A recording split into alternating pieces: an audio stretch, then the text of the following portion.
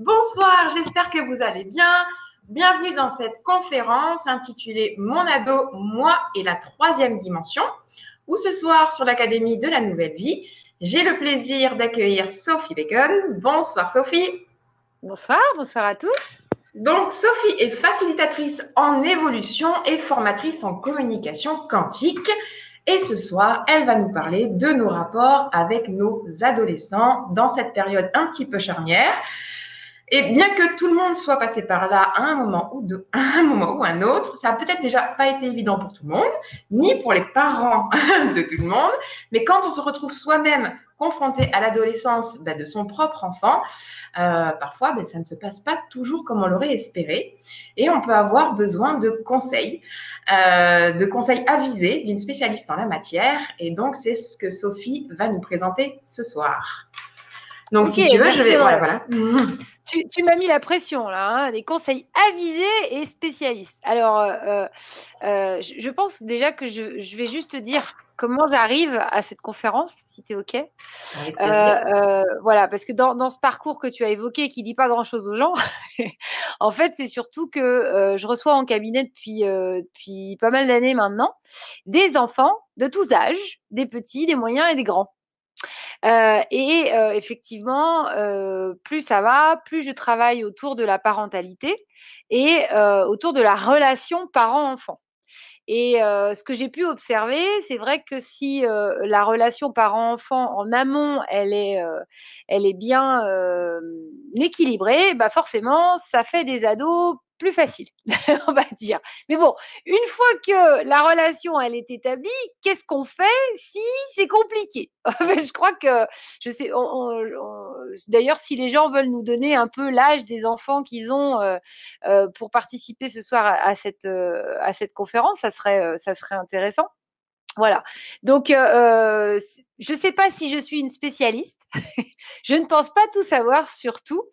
Et j'espère, apporter quelques, quelques lumières. Donc, euh, ça, c'est, sûr. Donc, déjà, effectivement, je pense qu'il faut partir du principe qu'on a une croyance c'est que et qui est très très ancré. Hein, euh, quand vous en parlez, quand quelqu'un vous dit j'ai un mon fils est ado, c'est oh là là, il y a, cette croyance que c'est compliqué, quoi, que l'adolescence, forcément, euh, ça va être un truc chiant à passer, etc. Et comme tu le disais, ce qui, ce qui est rigolo, c'est que je crois qu'en fait, on appréhende son adolescence en fonction de comment on a vécu la sienne, déjà. Je crois que c'est important. Si déjà la sienne, on l'a mal vécue, c'est certain que ça va être la projection sur son propre enfant risque d'être importante. Et ceux qui ont plusieurs enfants, ils verront qu'ils ont des, des adolescents différents et donc euh, ils sont obligés de s'ajuster aussi euh, par rapport à ça. D'ailleurs dans les fratries, hein, il y en a même qui disent ah non mais moi je l'ai vécu comme ça et ma sœur pas du tout quoi. Donc c'est vraiment très rigolo de voir déjà euh, la puissance de cette croyance. Donc déjà pour moi la croyance elle n'est pas bonne. L'adolescence n'est pas forcément obligée que ça se passe mal. Ça, c'est très important. Et, je pense que c'est important de l'entendre. Et, tous les parents qui ont des enfants là, qui ont euh, entre 10 et, on va dire, 10 et 12, détendez-vous. Ça peut bien se passer, je vous promets. c'est possible. En fait, il y a même plus de chances parce que dans les, euh, rapports en fait hein, d'études qui ont été faites, il y a plus d'adolescents qui vivent bien leur adolescence que d'adolescents qui la vivent mal. Mais la proportion, elle est de 1 sur 4. Hein. Un adolescent sur 4 vit mal son adolescence. D'accord. Alors, en, fait, finalement, c'est les parents qui ont le plus de problèmes, c'est pas ça. Alors justement, c'est ce que j'allais dire.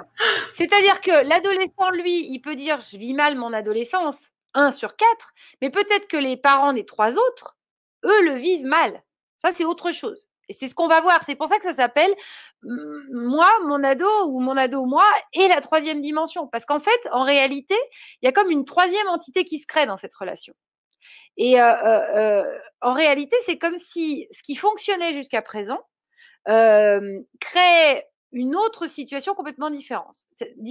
C'est-à-dire que la relation parent-enfant, qui jusque-là était quand même assez symbiotique, on va dire, hein, c'est-à-dire que que ce soit descendant ou pas, dans le sens où il y a une autorité ou moins d'autorité, mais le parent disait à l'enfant, tu fais ça, et en règle générale, l'enfant obéissait. Puis là, on se retrouve à une situation où des fois l'enfant obéit, des fois il obéit pas, des fois il dit qu'il va faire puis il fait pas.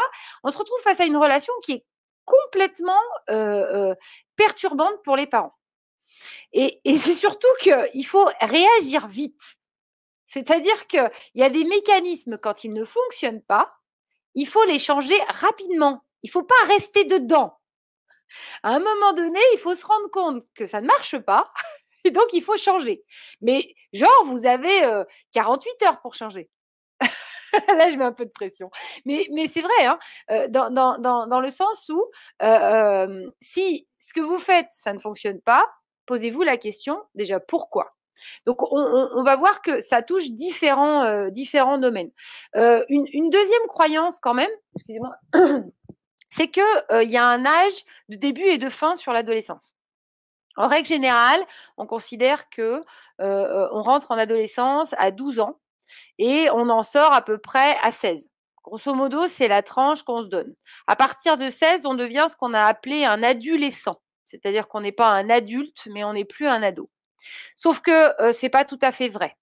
Il y a des enfants qui peuvent rentrer effectivement dans le comportement d'adolescent, parce que l'adolescence en tant que telle, c'est une période donnée qui a été établie dans le processus d'évolution de l'enfant. Hein. On va pas, on va pas y toucher ça. En France, faut pas toucher à ça. Hein. Attention. Hein. Mais, il y a des enfants qui vont rentrer dans un comportement dit d'adolescent plus tôt. il faut pas symptomatiser ça.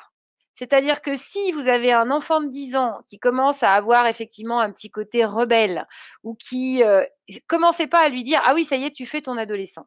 on est déjà en train de symptomiser une situation et d'anticiper. C'est-à-dire que ce comportement entre guillemets vu négativement est mis dans la catégorie euh, comportement d'adolescent. Donc forcément l'enfant se dit quand je serai plus âgé je pourrai avoir ce comportement je ne sais pas si je me fais comprendre dans le processus. La symptomisation, c'est mettre le doigt sur quelque chose, appuyer en disant ça c'est bien ou c'est pas bien, mais quand c'est pas bien, et on le range dans une case. Et donc dans cette case, c'est le comportement que j'aurai dans deux ans ou dans trois ans, il sera comme ça. Parce que là, on est en train de me dire, c'est ça que tu feras quand tu seras adolescent. Est-ce que tu as compris ce que j'ai dit Ok, super. donc ça, c'est important. Il ne faut pas y mettre beaucoup de charge. Laissez faire. Ce comportement à 10 ans, il peut être aussi normal. on a des enfants qui, qui changent, qui parfois vont plus vite que d'autres. Et donc, ils peuvent avoir des comportements qui peuvent nous surprendre par rapport à leur âge, mais ça ne veut pas dire qu'ils sont en pleine crise d'adolescence ou qu'ils sont au début. la le troisième point, avant de vraiment de parler de la relation parent-ado, c'est le fait que l'enfant, comme il a été enfant, va déterminer effectivement qui il sera adolescent. Cela dit, ce qui va le déterminer, c'est surtout la relation que vous avez eue avec cet enfant-là. C'est-à-dire qu'un enfant qui a été conflictuel, compliqué, euh, pour vous, hein, je parle en tant que parent, hein, encore une fois, je ne mets pas de symptômes, mais que vous avez vécu une, enfance compliquée, etc., il est certain que vous avez déjà, en fait, dans votre euh, valise de parents, des comportements qui vont euh, soit devoir changer au moment où l'enfant va rentrer dans, dans l'âge de l'adolescence, soit ça va être très, très compliqué parce que du coup, ça va être multiplié. Donc, il y a des périodes où on peut changer ça. Et c'est vraiment justement entre, on va dire, 10 et 12 où on peut essayer de transformer la relation parent-enfant pour aller vers une adolescence plus cool, on va dire. Donc là, on est vraiment spécifiquement sur, euh, les ados, donc euh, c'est le but quand même euh, de, ce soir, et les parents qui sont là attendent certainement des réponses plus sur cette tranche d'âge. Donc déjà, évidemment, ce qui est important, hein, il y a plusieurs sujets qui sont importants, et qui sont importants pour les parents et pour, l'ado, c'est la communication. Donc qu'est-ce que j'entends par communication? Forcément, c'est la façon dont on va se parler. Et là, il peut y avoir du vocabulaire complètement différents, voire même des mots en tant que parent à bannir. Il y a aussi le moment. Donc, je, viendrai plus en détail. Hein. Là, pour l'instant, je fais un, je, je, je dis grosso modo tout ce qu'il y a, et après, on, on, verra ensemble, mais en vocabulaire, par exemple, les tu dois, il faut, faut trouver d'autres façons de le dire. Parce que si là, on est en frontal, donc le tu dois, il faut, ça marchait quand il était petit. Là, ça marche plus. On va voir ce qu'il faut mettre en place derrière. Le moment. Si vous dites un truc important à votre ado à un moment où pour lui, c'est pas important, c'est-à-dire que lui, ce qu'il est en train de vivre, c'est plus important que ce que lui dites, il va pas vous écouter. Donc vous allez lui dire, tu m'as pas écouté. Non, en fait, c'est juste que vous n'avez pas choisi le bon moment pour lui parler. Donc il y a des moments, il n'y a pas de moment. Il y a des journées où vous n'aurez pas de moment pour lui parler. c'est possible. Mais c'est là où, de temps en temps, en tant que parent, il va falloir tenir bon. Parce qu'il faut trouver le moment où il faut créer ce moment-là.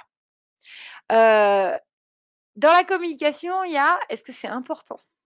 Et pour qui ça l'est? Ce que vous avez à lui dire là, ce truc euh, genre euh, je voudrais que tu fasses ça parce que parce que je voudrais que tu fasses ça. Donc déjà on voit que si j'ai pas utilisé le bon vocabulaire, ça va être compliqué. Si je lui dis ça alors qu'il est en train de parler à son copain ou d'envoyer un SMS à sa copine, c'est un peu raté. Et surtout, est-ce que c'est important pour lui? Mmh, J'en doute fortement. Ranger la tondeuse dans le garage, s'en fout un peu. Hein. C'est pas sa priorité. Et puis, vous allez avoir les attentes et les souhaits, c'est-à-dire ce que vous, vous attendez et ce que votre ado souhaite. Pas forcément la même chose et ça va jouer aussi dans la communication. dans tout ça, il y a les normes de la maison. On est bien d'accord qu'un enfant de 10 ans ou de 12 ans ou de 14 ans ou de 16 ans, ce n'est pas les mêmes normes, ce n'est pas les mêmes règles, ce n'est pas les mêmes autorisations et il n'y a pas les mêmes conséquences forcément, il va falloir adapter. Encore une fois, vous n'allez pas agir de la même façon. Et les conséquences, parfois, ça ne va pas être une punition. Et la responsabilisation, c'est compliqué. Donc là, je parle de beaucoup de concepts, mais je, vous donne des pistes déjà sur de réflexion sur comment vous agissez avec votre enfant dans ces domaines-là. Au niveau de, des règles, il faut qu'elle soit adaptée à l'âge et au respect. Donc ça, c'est le point suivant. C'est le respect de chacun, le respect de vos limites et le respect de ses limites. Et si on n'établit pas ça avec son ado en lui expliquant jusqu'où pour vous c'est possible et acceptable, et de voir avec lui, en fait, dans quelle mesure vos limites peuvent se chevaucher et trouver un point d'accord, ça ne peut pas fonctionner. Parce que vous allez être dans votre carte du monde, dans votre représentation de comment votre enfant devrait se comporter. Et lui, il a sa version qui est complètement différente de la vôtre. Du coup, il n'y a pas de point où vous pouvez vous relier. Et ça, ça revient au, point, au premier point, on va tomber sur des difficultés de communication. Votre ado ne va plus vous écouter parce que vous allez vous énerver, et qu'il n'y a rien de pire que de crier dessus parce que de toute façon, ça sert à rien. Au niveau du respect, il faut savoir. Oui. Ouais, justement, au niveau du respect, parce que si on a envie d'établir euh, de saines limites qui vont dans un sens et dans un autre, et que malheureusement l'ado a du mal avec euh, les notions de respect, qu'est-ce qu'on fait s'il franchit les limites euh? Ok. Alors, le respect, c'est le temps de parole et d'écoute de chacun. C'est-à-dire qu'en tant que parent, on ne peut pas demander déjà à ce que notre ado nous écoute tout le temps et, considérer que ce qu'il nous dit, ce n'est pas important. Parce que lui, quand il vous raconte que machin, il a publié une story sur Insta où euh, il explique son voyage euh, en Chine, bah pour lui, à ce moment-là, c'est super important. Alors peut-être que vous, ça ne vous intéresse pas, mais si vous voulez créer un lien avec votre enfant, il va falloir l'écouter. Si son truc, c'est les jeux vidéo et qu'il vous explique qu'il a passé le niveau machin et que vous, vous y connaissez rien, bah peut-être qu'il faudra prendre cinq minutes pour qu'il vous montre. Pourquoi? Parce que ça va peut-être vous permettre de mettre les limites et de lui dire, OK, alors attends, montre-moi ton jeu là, comment ça marche? Euh, C'est des parties de combien de temps Bon bah ok, alors on part sur deux parties, puis après t'arrêtes. Vous voyez le truc? C'est qu'en fait, il faut. Si vous lui dites non, mais tu te rends pas compte, euh, ça fait deux heures que tu joues. Non, mais la notion du temps, il l'a pas du tout. Hein. À moins de lui mettre un timer, lui, il est en train de jouer et c'est pas qu'il a vu qu'il s'était passé deux heures, hein, il joue. Bon, après, on parlera de, la physiologie hein, de l'ado si on a le temps, mais, euh, euh, c'est vraiment important de comprendre ça, qu'il faut rentrer dans l'univers de son enfant de temps en temps pour pouvoir y mettre des limites. Alors, bien évidemment, ce que tu dis, c'est important. je, vais en, parler parce que forcément, c'est comment est-ce qu'on établit des règles. Mais il faut bien comprendre que ces règles, elles vont dépendre aussi des règles que vous avez établies avant. Si vous avez toujours été là pour votre enfant, vous lui avez acheté tout ce qu'il vous demandait, il n'y a pas de jugement hein, dans ce que je dis, hein, je donne des exemples comme ça, il va pas comprendre qu'à un moment donné, vous disiez non. Hein. C'est juste ça. Hein. Lui, il a juste le comportement, il était comme ça, et maintenant, elle me dit non. Donc, c'est déjà important de savoir quel est le type de règles que vous avez mis. Ensuite, il faut que ce soit des règles, comme je disais tout à l'heure, qui soient en lien avec l'âge. Et d'ailleurs, dans une maison où il y a plusieurs frères et sœurs, il n'y a pas les mêmes règles. Le respect, c'est dans ma carte du monde, c'est la façon de communiquer. Mais ça, c'est le premier point que j'ai dit. Et la façon de communiquer, c'est si je veux que mon ado me respecte, il faut que je le respecte. Et il faut que je lui parle correctement. Parce que sinon, je ne peux pas lui demander de le faire. Ça, c'est super important. Hein. Et, même quand on se fâche, les tu me fais chier et c'est pas top. Hein. mais ça nous arrive. On est humain. Mais on a le droit de lui dire Je suis désolée, j'aurais pas dû dire ça. Il faut considérer que votre ado, il n'a qu'une envie, c'est qu'on le traite comme un adulte. Si vous n'allez pas le faire concrètement parce que ce n'est pas un adulte, mais si vous voulez le responsabiliser, il faut de temps en temps jouer là-dessus. C'est vachement important. Et lui dire, bah voilà, tu veux, euh, faire des choses qui seraient des choses de plus grand ou d'adulte, il faut que tu me montres que tu as le comportement qui va avec. Il faut lui expliquer ce que ça veut dire, parce que ça, c'est une jolie phrase. Mais vous-même, si vous êtes euh, constamment sur votre téléphone, ou si c'est comme un enfant, hein, il est toujours dans l'imitation, hein il va vous dire Mais oui, mais toi? Oui, non, mais moi, je suis une adulte. Ouais, bah, c'est pareil. Hein. C'est euh, marche pas votre truc. Hein. Ok, je suis une adulte. Euh. Par contre, vous pouvez lui dire Oui, mais le seul truc, c'est que moi, j'ai bossé toute la journée. Ah, bah, lui, il a été en cours toute la journée. On fait comment alors? Donc, c'est vraiment l'intérêt, c'est Ok, c'est quoi votre priorité? Et c'est ce qu'on va, on va aborder après. C'est quoi votre priorité? C'est quoi la sienne? On en revient à ce que j'ai dit au départ. Il faut trouver le point où vous arrivez à vous entendre. Donc, il faut s'asseoir et parler. Si, si, il faut faire des conseils de famille. Et puis, il faut savoir écouter votre ado qui vous dit Ouais, mais j'en ai marre parce que tu rentres dans ma chambre et, euh, et, tu et je t'ai pas donné ma permission. OK. Dans quelle mesure vous êtes obligé de rentrer dans sa chambre? Vous pouvez aussi lâcher sur certaines choses. C'est ça aussi le respect. Et le respect de l'espace, c'est super important pour un ado. Il y a des ados, euh, c'est sûr que quand vous avez un ado qui ne se lave pas pendant trois jours, il y a des fois, ça peut être compliqué. Et vous pouvez peut-être lui expliquer, même si lui, il ne se sent pas, que le respect des autres, c'est important. Et le respect des autres, parce que le respect de lui-même, pour l'instant, il n'a pas encore bien compris. Et ça arrive.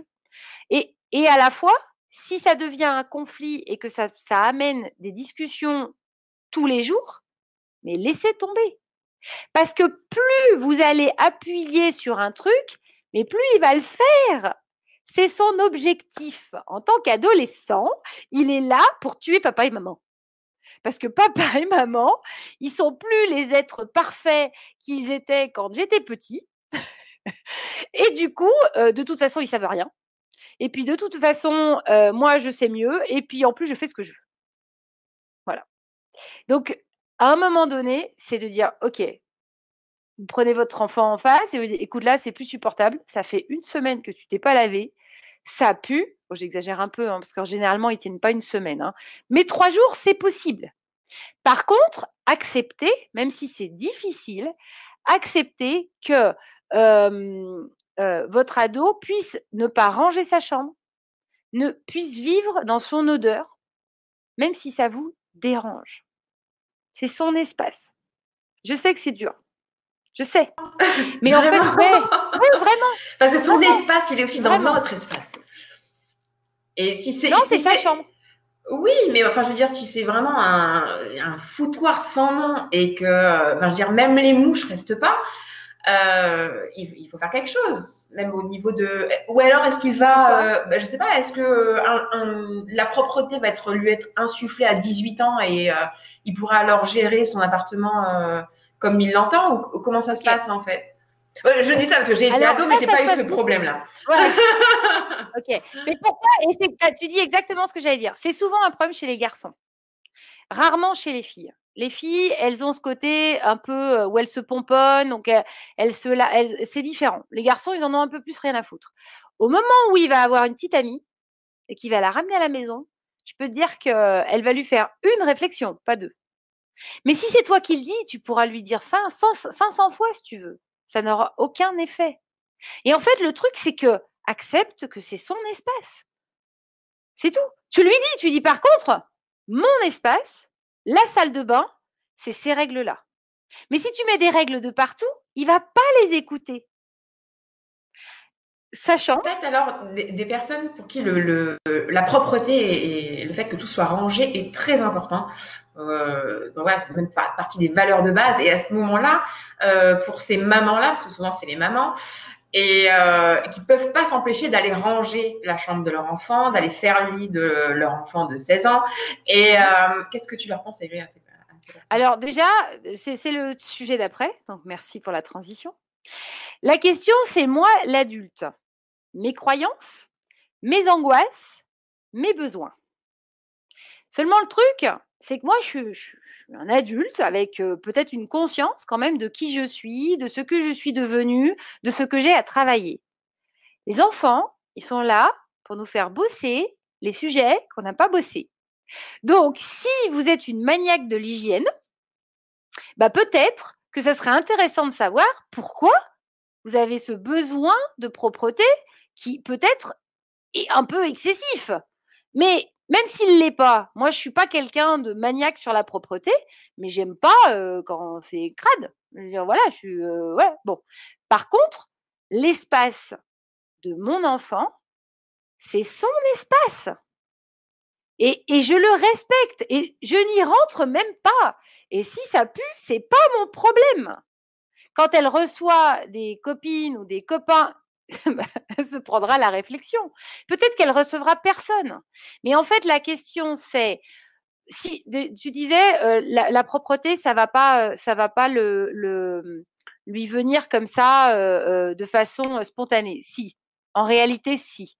À un moment donné, le cerveau, hein, il, finit de se construire. Ce qu'il faut comprendre, c'est que l'adolescent, c'est bordel là-dedans. Hein. Ça part dans tous les sens. Hein on, en parle après, mais les rythmes sont différents. Le sommeil, ils ont besoin de beaucoup dormir.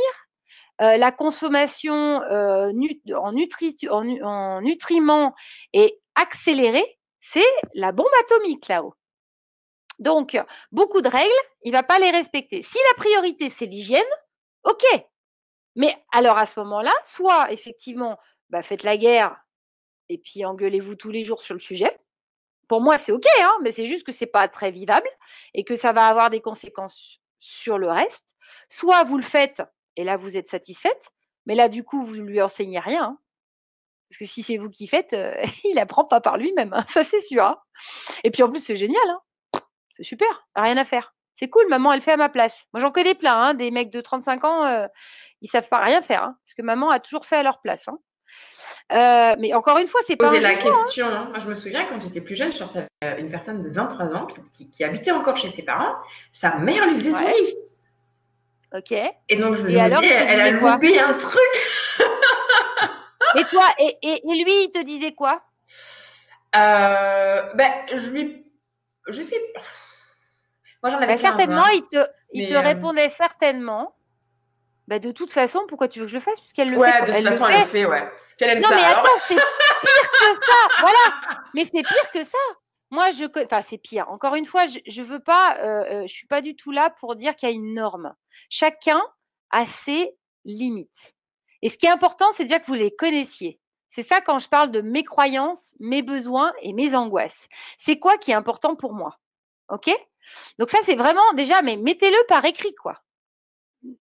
Honnêtement, déjà, c'est quoi Qu'est-ce qui est important pour vous dans, votre respect de votre, de votre espace, à vous? Et à ce moment-là, vous pouvez établir et expliquer. Moi, autant je, voilà, la chambre, c'est pas mon problème, autant la salle de bain, c'est un espace qu'on partage. Et à ce moment-là, euh, bah, quand euh, voilà, il y a des règles. Tel jour, c'est il faut faire ça. Et c'est établi.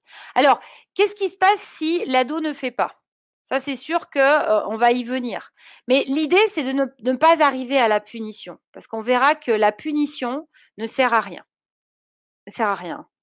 Il va râler, vous allez le mettre en rébellion, ça se trouve, il va pas le faire, ça, va finir en live, ou s'il le fait, de toute façon, il le fera pas en se disant Oh bah je le ferai la prochaine fois. Non, faut pas rêver, hein. C'est pas comme ça que ça se passe là-dedans. Hein. Ça marche pas, hein, en fait. Hein. Donc, il n'y a, que la, mmh, la simulation qui peut fonctionner. Mais après, ça dépend aussi beaucoup des adolescents, de chacun, de comment ils fonctionnent. Donc ça, c'est important aussi de voir qu'est-ce qui a fonctionné chez votre enfant quand il était plus jeune. Peut-être que ça fonctionne encore.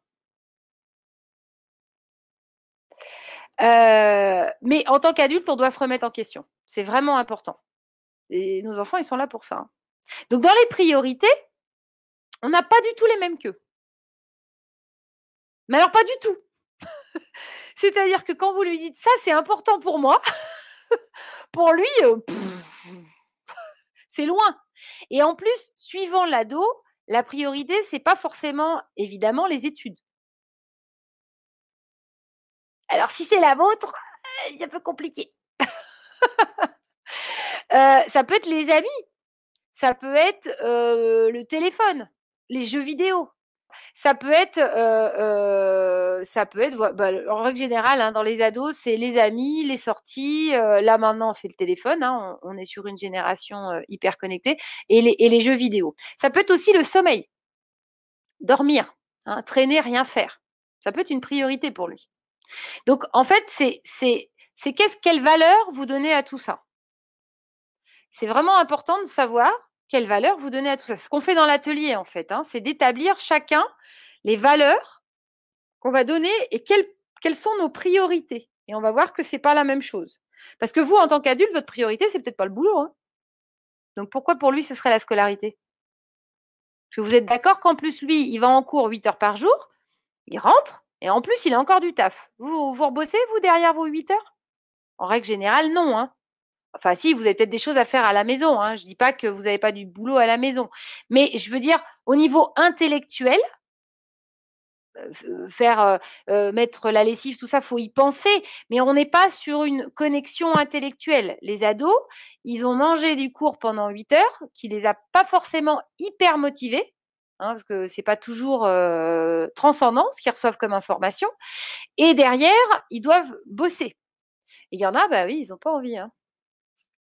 Et là, c'est là où c'est compliqué parce qu'il faut faire comprendre rapidement, et ça, ça se passe dès l'entrée en sixième, voire même en primaire, que l'enfant travaille pour lui, mais pas pour vous. Donc, du coup, il faut trouver un système de stimulation. On fait comment? On punit. Allez, s'il y a une mauvaise note, euh, privé de sortie. Non, ça ne marche pas. Ça marche pas et à tel point que ça marche pas que ça peut même être dangereux. Parce que du coup, il va sortir quand même, il va pas vous le dire. Et là, il va se mettre en danger et en risque. Parce que si vous arrivez en fait à créer cette communication, votre ado, à un moment donné, s'il vit une situation dangereuse, il va vous appeler.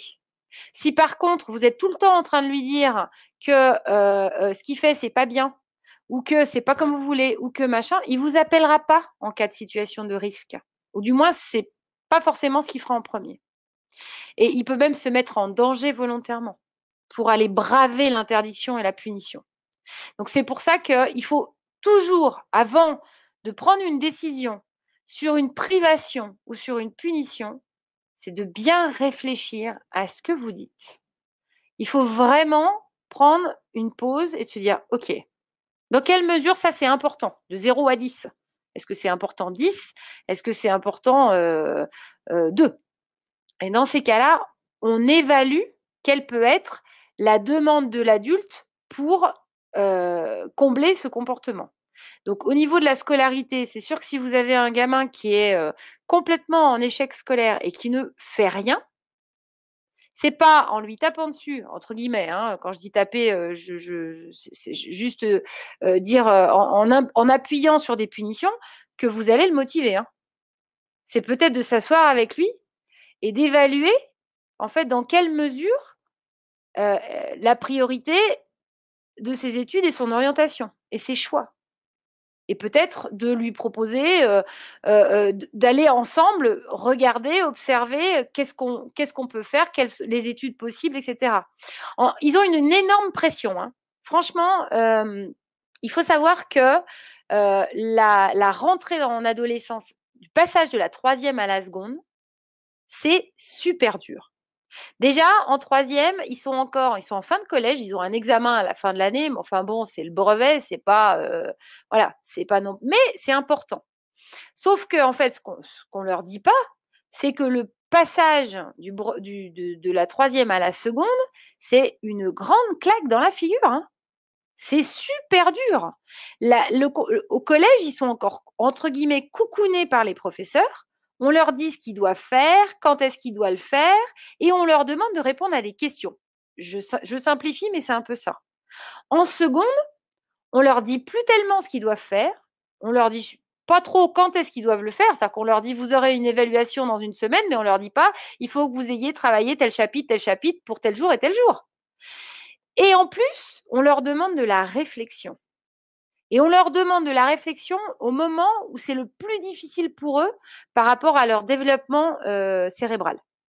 Parce que ça fait vraiment travailler des connexions et c'est compliqué pour eux parce que ils sont déjà dans euh, des connexions euh, avec la relation sociale qui change, le côté sexué et sexuel qui s'intensifie et c'est vraiment compliqué.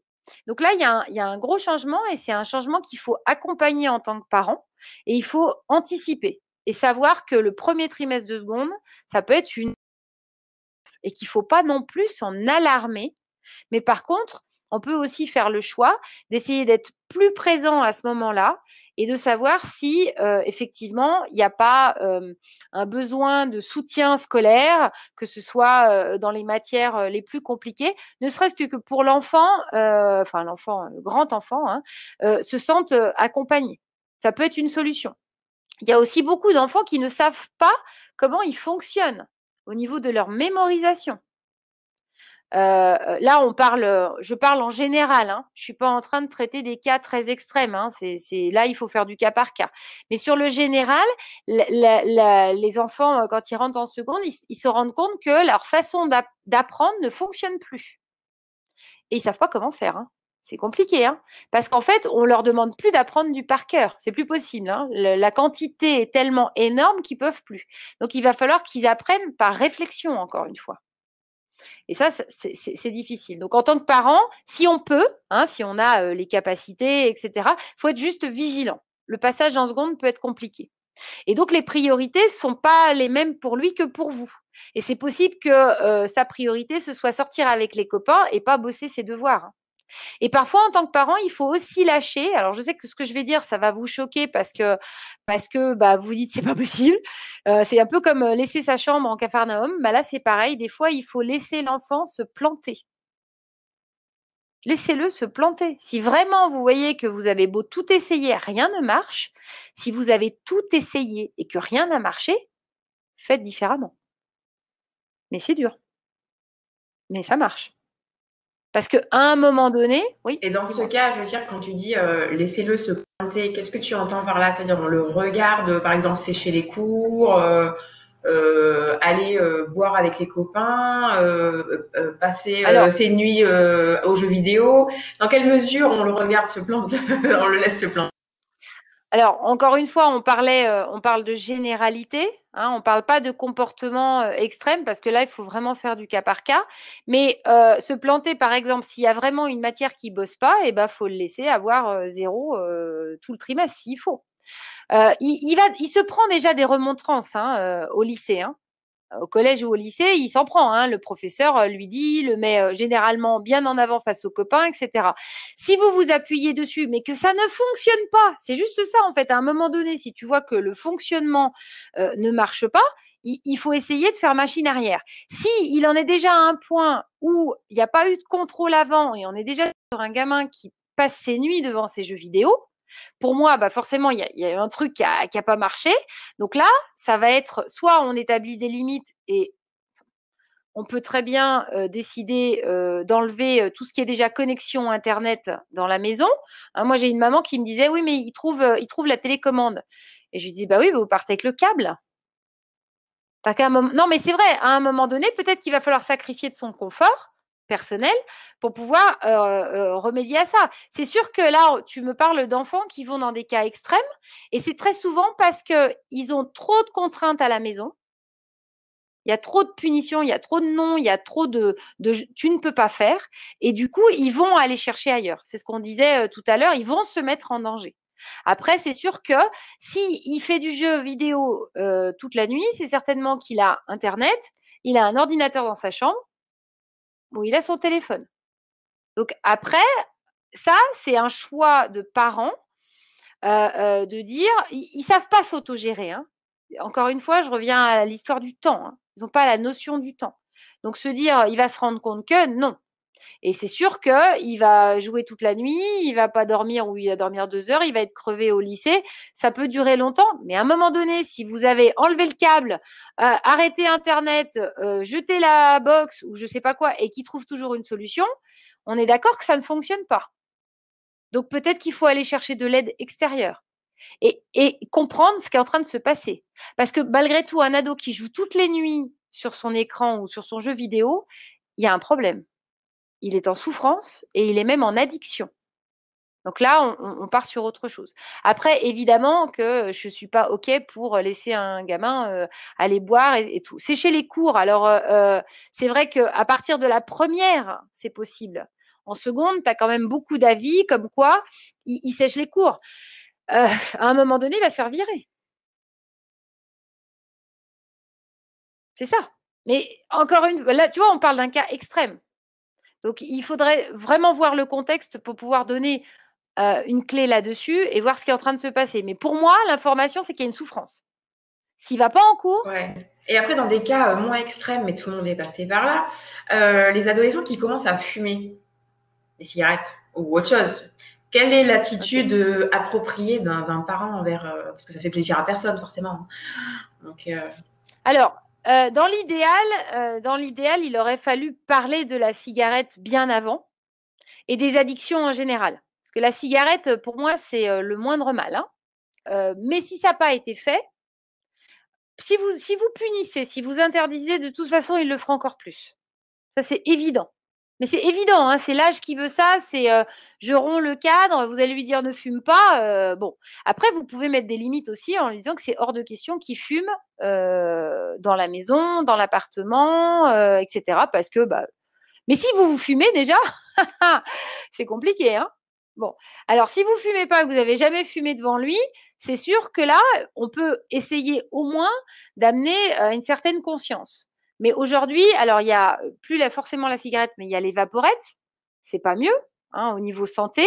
Et puis évidemment, bon après, il peut y avoir soit des joints, soit carrément là pour le coup les, les pastilles, etc. Ça c'est plus embêtant parce que tout le reste, j'allais dire, bon, les, les, joints, les joints adolescents, c'est c'est très très embêtant. Ça a vraiment un effet terrible sur la construction du cerveau. Euh, et là, il ne faut pas hésiter, euh, je pense quand même à, sensibiliser, même si euh, ça n'a peut-être pas beaucoup d'impact, ça peut quand même avoir une information. Hein, il y a beaucoup de vidéos maintenant qui circulent et qui expliquent en fait les effets du cannabis sur les neurones et que franchement, ça en fait des adultes moins intelligents c'est prouvé scientifiquement, ce sont des neurones qui disparaissent et qui ne reviennent pas, hein, même s'il y a une plasticité, cérébrale. Là, pour le coup, il y a une intervention euh, euh, euh, donc externe et, ça, devient compliqué. Mais bon, encore une fois, moi, ma réaction par rapport à ça, c'est juste de dire, bah, tu sais, en fait, j'approuve pas. mais c'est ton corps, c'est ton choix. Je sais que je vais choquer. Hein. Peut-être que vous pensez que, que, du coup, je suis laxiste, hein, mais je peux vous assurer que pendant longtemps, j'ai été considérée comme quelqu'un de très strict. Pas sévère, hein, mmh. mais strict. Bah, laxiste, euh, non, je pense pas, parce que finalement, il y a, énormément de, parents d'adolescents qui passent à travers ces, moments-là, la cigarette, le joint, etc. Enfin, c'est monnaie courante. Euh, et il y en a beaucoup qui, misent sur la répression. Non, ça marche pas. Bah non. La répression, mais non, ça, ne fonctionne pas la répression. Mais, euh, mais, c'est Voilà, c'est ça. Ça installe le mensonge. Hum. Exactement. Et ça, c'est terrible. Parce que le mensonge, c'est le verre dans la pomme. Parce que si j'arrive à mentir et si j'arrive à gruger sur la cigarette, c'est terrible. Vous avez un gamin qui rentre et vous sentez qu'il a fumé. Si vous lui dites Tu as fumé c'est la même chose que lui dire Je ne suis pas d'accord que tu fumes. Mais si vous lui dites Tu sais, en fait, moi, la cigarette, j'ai fumé et j'ai vraiment eu du mal à arrêter, déjà, parlez de votre propre expérience, si c'est le cas. Et il va vous dire Bah oui, tu vois, tu as fumé aussi. Ouais, bah c'est vrai, j'ai fait cette connerie. Je je suis pas parfait, hein. Mais moi, je te donne mon expérience. Mais moi, il y a un truc que j'ai appris hein, dans la vie, et vous le savez tous, hein, c'est que la seule chose qui n'est pas transmissible, c'est l'expérience. Et il y en a, ils auront besoin d'aller explorer ça. Et vous, vous avez été adolescent et peut-être que vous avez exploré ça, puis peut-être que vous avez exploré aussi l'alcool, etc. Ce qui est important, en fait, là-dedans, c'est que l'enfant sache que s'il se met en situation de danger, notamment euh, avec l'alcool, Hein, j'allais dire la cigarette, euh, bon, c'est sûr que ça peut faire du mal sur le long terme, le joint aussi, mais l'alcool, ça peut être dangereux physiquement. Il faut qu'il sache que dans cette situation, vous serez là et que vous viendrez et que vous n'allez pas l'engueuler comme du poisson pourri devant ses copains. C'est vraiment important. Et il faut qu'il le sache, il faut qu'il le sache au fond de lui, parce qu'au moment où il va vivre cette situation, il faut qu'il puisse vous appeler. Les filles, il faut qu'elles sachent que vous êtes OK avec leur sexualité. Si vous parlez jamais de sexualité avec les filles, les filles ben ou les garçons, si vous n'en parlez jamais.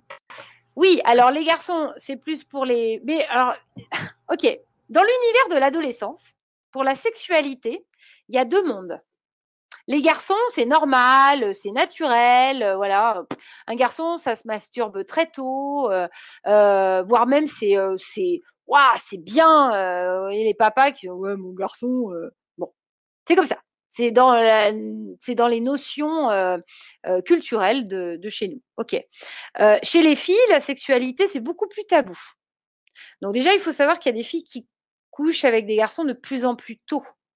Hein. Il y a des chiffres qui parlent de 12 ans. C'est tôt, 12 ans. 12 hein. ans, le corps, il... Dis-moi que c'est pas une moyenne. Alors, c'est pas une moyenne. La moyenne, c'est plutôt 14. Mais le, la tranche, c'est 12, euh, c'est 12, 16 la première fois. Après, il y en a qui vont jusqu'à 18, mais euh, ouais. Il y en a qui vont en dessous de 12. Hein.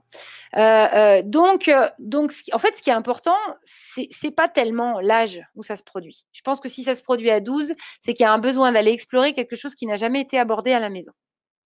ce qui est important, c'est comment ça s'accompagne.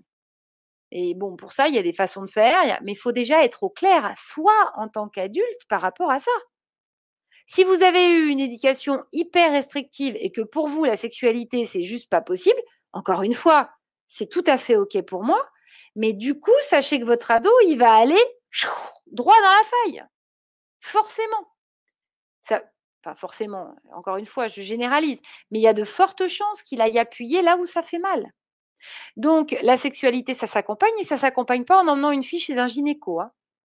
Il n'y a rien de pire. Ça, c'est un conseil que je donne aux mamans. S'il vous plaît, si tout, tout, va bien, si les règles se sont bien passées, etc., et qu'il n'y a pas de douleur, etc., s'il vous plaît, n'emmenez pas vos filles chez un gynéco. Il n'y a rien de plus traumatisant que d'avoir un premier contact avec ses parties intimes avec quelqu'un qu'on ne connaît pas, qui en plus vous met un gros machin. Enfin, c'est horrible. Je, le dis parce que vraiment, il y, a des, jeunes filles qui ont vécu ça comme un viol, hein, vraiment, la sensation. Donc, c'est à éviter. Par contre, on peut discuter, on peut parler, on peut évoquer, on peut montrer comment mettre un préservatif, on peut expliquer ce qui se passe si jamais il explose. On peut.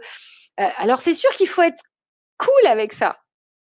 Et si vous ne savez pas faire, ben, demandez à quelqu'un, vous ne savez pas dans le sens où vous ne voulez pas parce que vous n'osez pas, demandez à quelqu'un qui pourrait le faire. C'est vraiment, enfin, c'est un sujet qui est, euh, euh, est souvent pas abordé, hein, et, euh, et c'est, pour, une, pour une fille, la première fois, c'est pas comme un garçon. Hein. Alors, il y a plein de garçons ou d'hommes qui me diront, c'est pas vrai. Mais si, c'est vrai. Pour une fille, la première fois. Et, dans le cas où justement la jeune fille, elle n'a pas, elle a pas envie de parler de sexualité avec ses parents, ce qui est tout à fait entendable. et à ce moment-là, quelle est quelle attitude les parents devraient avoir euh, envers elle euh, Respect total, c'est-à-dire, hop, on ne parle pas du tout, du tout de ça, c'est le sujet qu'on évite, euh, on veut rien savoir chacun des deux côtés. Qu'est-ce que tu en penses, toi? Alors, moi, je pense que ce qu'on peut faire, c'est dire les choses, mais ne pas attendre que notre ado réponde. Alors, c'est sûr que si vous en avez une, elle sort de la pièce en vous disant non, non, non, non, non, non. alors, il y a des super bouquins, déjà. Euh, qui, euh, qui sont très euh, parents, je crois que c'est ado et sexualité, je, te passerai le lien. Très bien, qui parle de tout, de tout. Hein. Donc, parents, les parents, préparez-vous. Hein. Ça vous parle de fellation, de cunilingus et j'en passe. Hein. mais au moins, bah, il n'y a pas de tabou. Bah, si vraiment votre fille, elle veut pas en parler, ou votre garçon, eh ben, au moins achetez-lui ce bouquin que, que ce soit pas. En fait, le, gros problème, c'est que l'information soit surtout, euh, bon, ça c'est peut-être une croyance personnelle, hein, mais surtout pour les garçons, que la sexualité soit en lien avec ce qu'ils voient au niveau du porno. Donc ça, c'est vraiment euh, vraiment catastrophique parce que parce que c'est pas ça, parce que ils vont se comparer en plus. Enfin bon, c'est euh, une catastrophe. Mais mais pour les filles, en tant que maman, on peut parler de sa propre expérience de sa première fois. Dire si ça a été bien, si ça n'a pas été bien, comment ça s'est passé, etc. On peut aborder le sujet en parlant de soi. Ne demandez pas à votre fille est-ce que tu as couché, est-ce que tu veux coucher? C'est pas ça qu'il faut faire. C'est lui dire, euh, mais ça peut se commencer, c'est une conversation qui peut s'aborder dès 12 ans pour le coup. Dès que les premières règles apparaissent, on peut parler de sexualité. En fait, et si on le fait dans un moment, vous savez, les choses sérieuses, il faut les dire pas sérieusement. Ça passe tellement mieux. Parce que là, on est super sérieux. Moi, je suis pas comme ça dans la vie. Hein. Après, il peut y avoir des, douches froides, quoi. Je veux dire, si ta fille de 13 ans, elle arrive, elle dit Bon, mais ça y est, euh, euh, je suis allée jusqu'au bout avec mon petit copain. Il y a des parents, c'est la douche glaciale, là, tu vois. Et dans ce cas. C'est sûr. et euh, eh ben, c'est ce que je disais au début. Il faut avoir cette capacité de soit vous vous taisez, vous dites rien, et vous y retournez une demi-heure après en ayant redescendu le truc, soit vous lui dites Ok, ma chérie, et comment ça s'est passé? Est-ce que c'était bien? Vous allez certainement pas lui dire que c'est pas bien ce qu'elle a fait. Elle l'a fait. Ça va conditionner le reste de sa sexualité. La validation ou la non-validation, c'est ce qu'un enfant cherche en permanence chez son parent. Donc, c'est pas de valider le fait qu'elle l'ait fait à 13 ans, c'est juste de valider le fait qu'elle est en bonne santé, que tout va bien, que le, garçon s'est protégé. Mais il faut pas le faire avec un ton paniqué, il faut le faire avec un ton zen. Donc, si vous n'en êtes pas capable, eh ben, vous faites, ben, vous lui dites, OK, ma chérie, tu sais quoi, là, ça fait beaucoup pour moi, euh, laisse-moi cinq minutes et je viens te voir. Acceptez votre fragilité et, le fait que, bah là, oui, ben, vous pouvez lui dire, hein, ah non, mais là, oula, attends. Ok, tu me laisses cinq minutes là que je réfléchisse à ce que tu viens de me dire? Elle va le comprendre. Hein. Je vous jure qu'elle va le comprendre. Et vous revenez cinq minutes après, elle dit bah, Tu sais, ma chérie, euh, bah, je m'y attendais pas. Bah voilà, et, je, suis inquiète pour toi, et, je veux juste vérifier que tu es OK et que ça s'est bien passé et que tu t'es protégée, etc. Mais si vous avez jamais parlé de préservatif à la maison, c'est sûr que ça peut être compliqué. D'où le fait d'aborder le sujet. Donc tous les parents qui nous écoutent et qui n'ont jamais parlé de sexualité avec leurs enfants, eh ben, commencez à y réfléchir sérieusement. Et surtout, en fait, ce qui est important, c'est ne faites pas de projection de votre vécu sur vos enfants. Vous pouvez expérience, mais ne lui dites pas ça se passe comme ça. Non, ça se passera comme ça se passera pour lui. Vous pouvez lui parler de votre expérience en disant bah voilà, moi ça s'est passé comme ça et je l'ai bien vécu ou je l'ai mal vécu. Mais ce n'est pas une généralité. C'est vraiment important. Hein. De toute façon, en tant que parent, on transmet inconsciemment ou consciemment euh, nos, propres angoisses. Hein. Donc, si vous, si vous avez très peur, parce que votre première fois a été une catastrophe et vous avez très peur que celle de votre fille se passe mal, juste une petite seconde, j'ai un chat dans la gorge. Hmm. Pardon? Et pendant que tu vois, ça m'intéresserait de savoir dans le chat, vraiment, vous, euh, vos enfants, quel âge ils ont et, euh, et, pourquoi vous êtes là en fait? Quel genre de problématiques vous rencontrez? Est-ce que vous rencontrez des problématiques? Est-ce que vous prenez les devants? C'est-à-dire que par exemple, votre, euh, votre enfant n'est pas adolescent, mais il est préadolescent, mais vous voyez que le comportement change peut-être, ou vous aimeriez euh, amorcer, euh, amorcer la chose en douceur. En fait, quelle est, voilà, quelle, dans quelle situation vous êtes? Quelles sont vos questions et puis même mmh. quelles sont vos réactions hein? Euh, Moi, je, je, suis, euh, je suis tout à fait. Euh, je, je, reçois en cabinet et, et, et parfois je déconcerte beaucoup de parents. Hein. Je le sais. Hein. Mais, mais si, si, si, vous êtes là, c'est certainement déjà que vous avez fait un pas, vous vous posez des questions. Donc déjà bravo, félicitations. c'est ce que je dis aux parents qui viennent au cabinet. Je dis, vous avez fait, vous avez fait le plus dur. Hein. Le mmh. plus dur, c'est de se dire que on a besoin d'aide. Donc euh, le reste, ça se fait tout seul derrière. Parce qu'on est prêt, euh, on est prêt à, aller, euh, à aller au bout. Mmh. Et, c'est vrai qu'on parlait de, priorité. donc, par exemple, juste, je vais donner un exemple. parce que souvent, les parents me disent, oui, mais moi, je ne sais pas comment récompenser. Alors, encore une fois, c'est important que vous, dans votre carte du monde, vous, vous, soyez au clair avec vos priorités. C'est-à-dire que, par exemple, si dans vos priorités, c'est que votre enfant participe à la vie de, la, de, la, de la maison, par exemple, qui, je sais pas, ils mettent une machine de temps en temps ou qui, ou qui fassent la vaisselle ou, etc. Je vous rappelle que sa chambre, c'est son espace. Donc, ranger sa chambre ne peut pas faire partie du planning.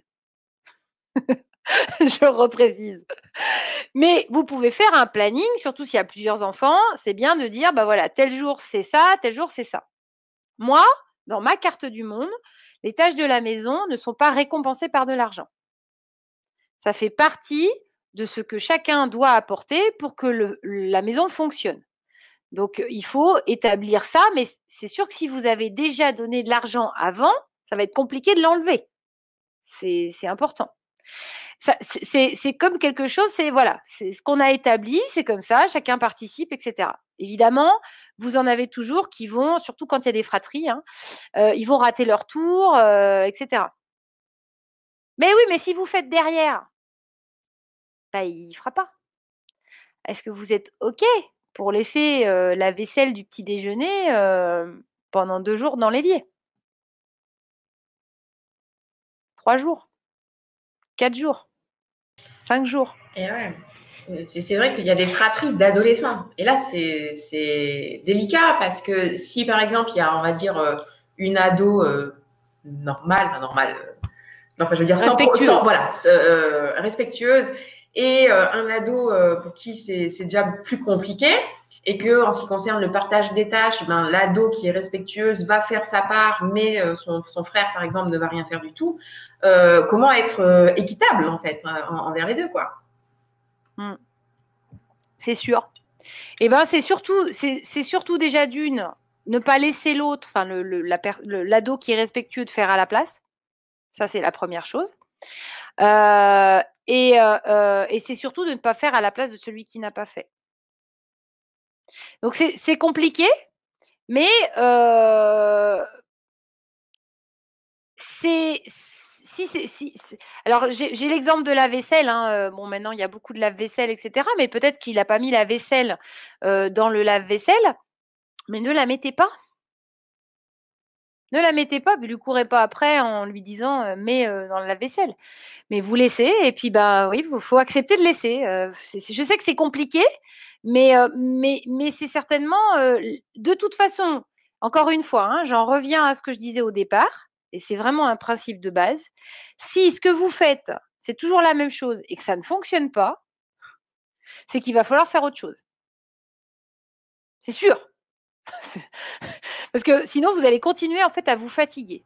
Donc, mmh. est-ce que ça vaut pas mieux une semaine? Alors, euh, euh, moi, euh, j'ai eu des cas où les mamans, elles ont acheté une grande bassine et toute la vaisselle que le gamin n'avait pas rangée euh, euh, dans le lave-vaisselle a été mis dans la bassine. La bassine a été posée devant la porte. Il a enjambé la bassine pendant dix jours. Au bout de dix jours, il y avait plus de vaisselle dans la maison. Et donc, du coup, ils ont mangé euh, sur la table, avec leurs mains. Et comme euh, comme c'est une maman un peu, euh, elle a poussé. Du coup, elle s'est dit, bah maintenant que j'y suis, je vais pousser le bouchon très loin. Elle a fait un plat avec de la sauce, machin. Donc c'était, il y en avait de partout. Et juste, il a réagi en disant, ouais, c'est dégueulasse. Elle dit, ouais, ouais, je suis d'accord. On fait quoi? Il n'a rien dit. Et dans la soirée, il a pris la bassine, il a fait tourner la lave-vaisselle. Mmh. C'est extrême, mais ça a marché. Il n'y a plus eu de problème. Hein. Souffrir pendant un peu de temps, le temps d'instaurer euh, cette nouvelle façon de faire, et puis après euh, vivre heureux euh, pour le reste de l'adolescence c'est, alors, attends, juste, il y a Vanessa là qui, dit alors j'ai un fils de 11 ans et demi et un autre fils de 8 ans et demi. Mon fils est né depuis sa rentrée en sixième, se laisse sombrer au niveau scolaire, il déteste les profs et l'école, ne travaille pas du tout et est rebelle à toute autorité. Ok. Donc, alors, en parallèle, juste on est dans Vanessa... le calme, l'humour et la tendresse avec lui, il est hyper réceptif et adorable. En fait, je le dis pour les personnes qui nous verront ah, en replay et qui ne lisent pas le chat. et eh oui, c'est vrai, oui, oui. Donc, en parallèle, quand vous êtes dans le calme, l'humour est là, la tendresse avec lui, il est hyper réceptif, adorable. Ok. Donc a priori, d'après ce que vous dites, Vanessa, déjà c'est qu'il y a un souci au niveau de tout ce qui est euh, devoir et travail scolaire. Donc là, on est sur les priorités. Euh, comme il est en sixième, là, il a vécu, euh, il a vécu le gros changement avec certainement une, un CM2 très encadré, très entouré, très coucouné. Et en sixième, c'est on rentre dans le bain, euh, on me dit pas ce qu'il faut que je fasse, et puis ça peut être difficile avec les copains. Donc, ça serait quand même important de savoir quelle est la souffrance là. Et comment ça se passe les relations avec les copains? Parce que s'il déteste l'école, c'est que s'il y va même pas pour les copains, c'est fort. Ça veut dire que même au niveau relationnel, là, il y a, quelque chose à, regarder. Est-ce qu'il n'y a pas justement, euh, est-ce qu'il se fait pas embêter, sans parler de harcèlement, hein, mais bon, est-ce qu'il n'a pas réussi peut-être à créer des liens, etc. Après, il déteste les profs. Généralement, il y en a toujours un qu'ils aiment bien quand même. Hein. Au moins un. Il y en a un paquet. Hein. Il y a maths, SVT, physique, euh, anglais, euh, machin. Il y en a un paquet. Généralement, il y en a un. Ça peut être le prof de sport, mais généralement, il y en a un. S'il y en a vraiment aucun, euh, c'est pas les profs qui l'aiment pas en fait. Hein. C'est juste l'autorité parce qu'on l'oblige à apprendre un truc. Alors là, j'aurais besoin d'en savoir un peu plus sur votre fils, euh, sur justement comment c'était pour lui en CM2. Est-ce que la lecture et l'écriture c'était ok? Parce que ça se trouve, il est en grande difficulté scolaire. C'est juste qu'il comprend pas ce qu'on lui demande, que du coup, euh, c'est euh, juste impossible. Il y a beaucoup d'enfants qui arrivent à, alors je ne veux pas dire que c'est le vôtre, hein, Vanessa, mais je, donne un, exemple. Il y a beaucoup d'enfants qui, en primaire, arrivent à donner le change au niveau de la compréhension de lecture, et en sixième, c'est la cata parce que on leur demande beaucoup plus et c'est beaucoup plus compliqué et ils n'y arrivent pas. Donc voilà, ça c'est quelque chose, il faudrait, faudrait quand même s'en assurer à ce niveau-là. Après, si du coup, quand il est, quand, quand, c'est le calme, donc ça veut dire certainement quand il n'y a pas les devoirs, eh ben, il, est, il est cool. J'allais dire, si vraiment c'est une souffrance, à un moment donné, moi je dis aux parents, je dis, écoutez, vous savez quoi, faites pas les devoirs. Hein. C'est vrai, hein si, c'est un enfer. Enfin, moi, je sais que euh, j'accompagne des enfants qui sont en difficulté scolaire et je sais combien les parents souffrent euh, euh, des devoirs qui sont donnés. alors, de toute façon, imaginez, il a passé une journée, ça a été juste l'horreur, il n'a rien compris, il s'est fait engueuler, il a eu des mauvaises notes, il arrive à la maison, il doit s'y remettre. En plus, c'est conflictuel avec vous parce que vous êtes une deuxième autorité et même vous, vous ne le comprenez pas. Pensez qu'il est un peu dans, euh, cet état d'esprit. Hein. Même ma mère, elle ne comprend pas que c'est dramatique pour moi. Il n'y a pas d'empathie. Hein. Et, euh, euh, et c'est l'enfer pour vous. Donc vous passez une soirée, excusez-moi l'expression, mais de merde, parce que c'est une réalité. Et ça multiplié par au moins quatre jours par semaine. Lundi, mardi, mercredi et jeudi avec certainement un petit bout euh, samedi ou dimanche quand, euh, quand il faut faire les devoirs pour la semaine. Euh, et du coup, il n'y a pas de moment en fait de calme. Ça va être juste peut-être le moment du coucher ou peut-être juste le moment que vous allez partager et c'est tout. mais c'est ça multiplié par six semaines avec deux semaines de vacances plus les problèmes des devoirs pendant les vacances. C'est l'enfer pour vous en fait. Donc si vraiment, de toute façon, s'il fait ses devoirs, c'est compliqué, ils ne seront pas forcément faits, il va se faire engueuler demain. S'il ne les fait pas, il va se faire engueuler demain. Mais au moins, il aura passé une bonne soirée. Alors je sais que non mais je comprends l'inquiétude des parents et que ce que je peux dire c'est ouais mais c'est facile c'est que de la théorie etc. Oui mais non parce que alors le, problème dans la scolarité c'est qu'on redouble plus etc. Mais vous savez quoi? Moi j'ai toujours dit que les garçons ils n'étaient pas prêts du tout de rentrer à l'école primaire à 6 ans et encore moins au collège à 11 ans. Les garçons, ils sont pas mûrs, ils pensent qu'à une chose, c'est à jouer aux petites voitures ou à autre chose, et ils n'ont pas du tout la maturité qu'ont les filles. Je ne vais pas généraliser, mais enfin si plutôt, je vais généraliser. Il y a des exceptions, mais c'est souvent comme ça. Donc il y a certainement un problème de maturité. Et il est juste en train de dire ça va pas, ça va pas, ça va pas, ça va pas, et puis il est juste en train de dire aidez-moi, aidez-moi, aidez-moi. Hein. Et c'est ce que vous, et c'est ce que vous faites puisque vous êtes là ce soir. Donc c'est que vous entendez bien la détresse de votre enfant. Alors, je ne sais pas, on est arrivé à la fin de l'année, je ne sais pas comment ça s'est terminé. Mais en tout cas, ce qui est sûr, c'est qu'il va falloir envisager les choses différemment pour l'année prochaine. Parce que parti comme il est parti, ça ne va pas s'améliorer en rentrant en cinquième. Hein. Enfin, je veux dire, je veux pas être dramatique, hein, mais il faudrait, Vanessa, que je vous parle plus, plus personnellement pour, pour pouvoir donner, vous donner des conseils plus, plus simples. Mais il y a peut-être des choses qu'il faut aller travailler en amont pour répondre à ses besoins et qui se sentent plus à l'aise en fait euh, dans, dans, ces apprentissages. Alors il y a, un truc qu'on a. Oui, Non, en fait, j'étais euh, en train de penser justement, mais pour les personnes qui ont besoin d'un petit coup de pouce euh, pour savoir comment s'y prendre avec leur ado, tu nous as concocté un atelier en ligne qui aura lieu le 20 juin et dont le but est, est vraiment d'aider les, les, parents et les ados à vivre cette période euh, le mieux possible. Donc, est-ce que tu veux nous en parler? Ce que je vais faire, c'est que je vais vous mettre l'offre dans le chat. Donc, vous allez voir que ça va être un bouton cliquable. Donc, j'ai besoin de vous pour me dire, voilà, je viens de le lancer. Est-ce que vous pouvez me confirmer que vous avez bien un bouton vert? Sur lequel vous pouvez cliquer dans le chat S'il vous plaît. Bon, je sais qu'on a 10-15 euh, secondes de, Ok.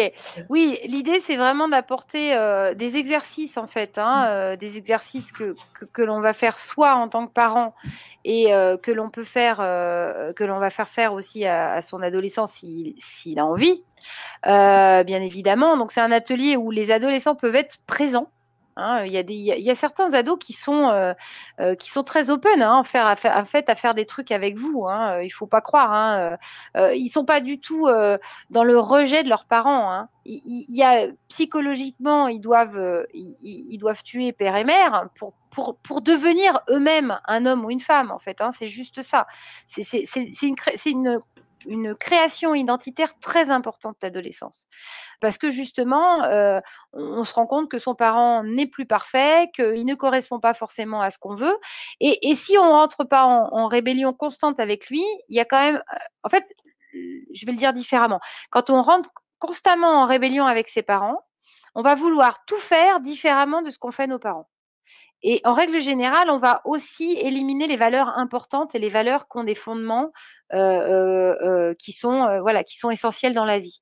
Donc c'est ce qui va se passer, c'est qu'on va avoir des jeunes adultes qui vont se prendre des grandes torgnoles dans la figure parce qu'ils vont pas comprendre ce qui se passe, parce qu'ils auront décidé que telle ou telle valeur c'était celle de papa et maman, donc je n'en veux pas. Et forcément, ça reste des valeurs essentielles dans la société. Notamment, bah, on parlait du respect, donc ça peut être, on parlait de l'hygiène, enfin, ou des choses comme ça. Et ça va être la copine qui va lui dire, non, mais attends, mon coco, t'es dégoûtant, moi je te quitte. Et puis on aura une grosse, une grosse déception d'amour. Je prends un exemple simple, mais ça peut être ça. Donc l'idée de cette, cet atelier, et, euh, donc euh, c'est vraiment de trouver euh, des, trouver, c'est de vous amener des, exercices à faire, donc que, je vais présenter dans la dans, dans l'atelier qu'on va faire ensemble, puis de, des, exercices que vous allez faire chez vous tranquillement, etc pour, vous donner euh, des solutions concrètes en fait hein, par rapport à la relation. Comprendre aussi quelles sont, hein, j'ai beaucoup parlé, euh, mais vous pouvez déjà commencer hein, en amont de l'atelier à poser vos, valeurs. Qu'est-ce qui est important pour vous? Quels sont les points en fait où, vous êtes en, conflit avec votre ado?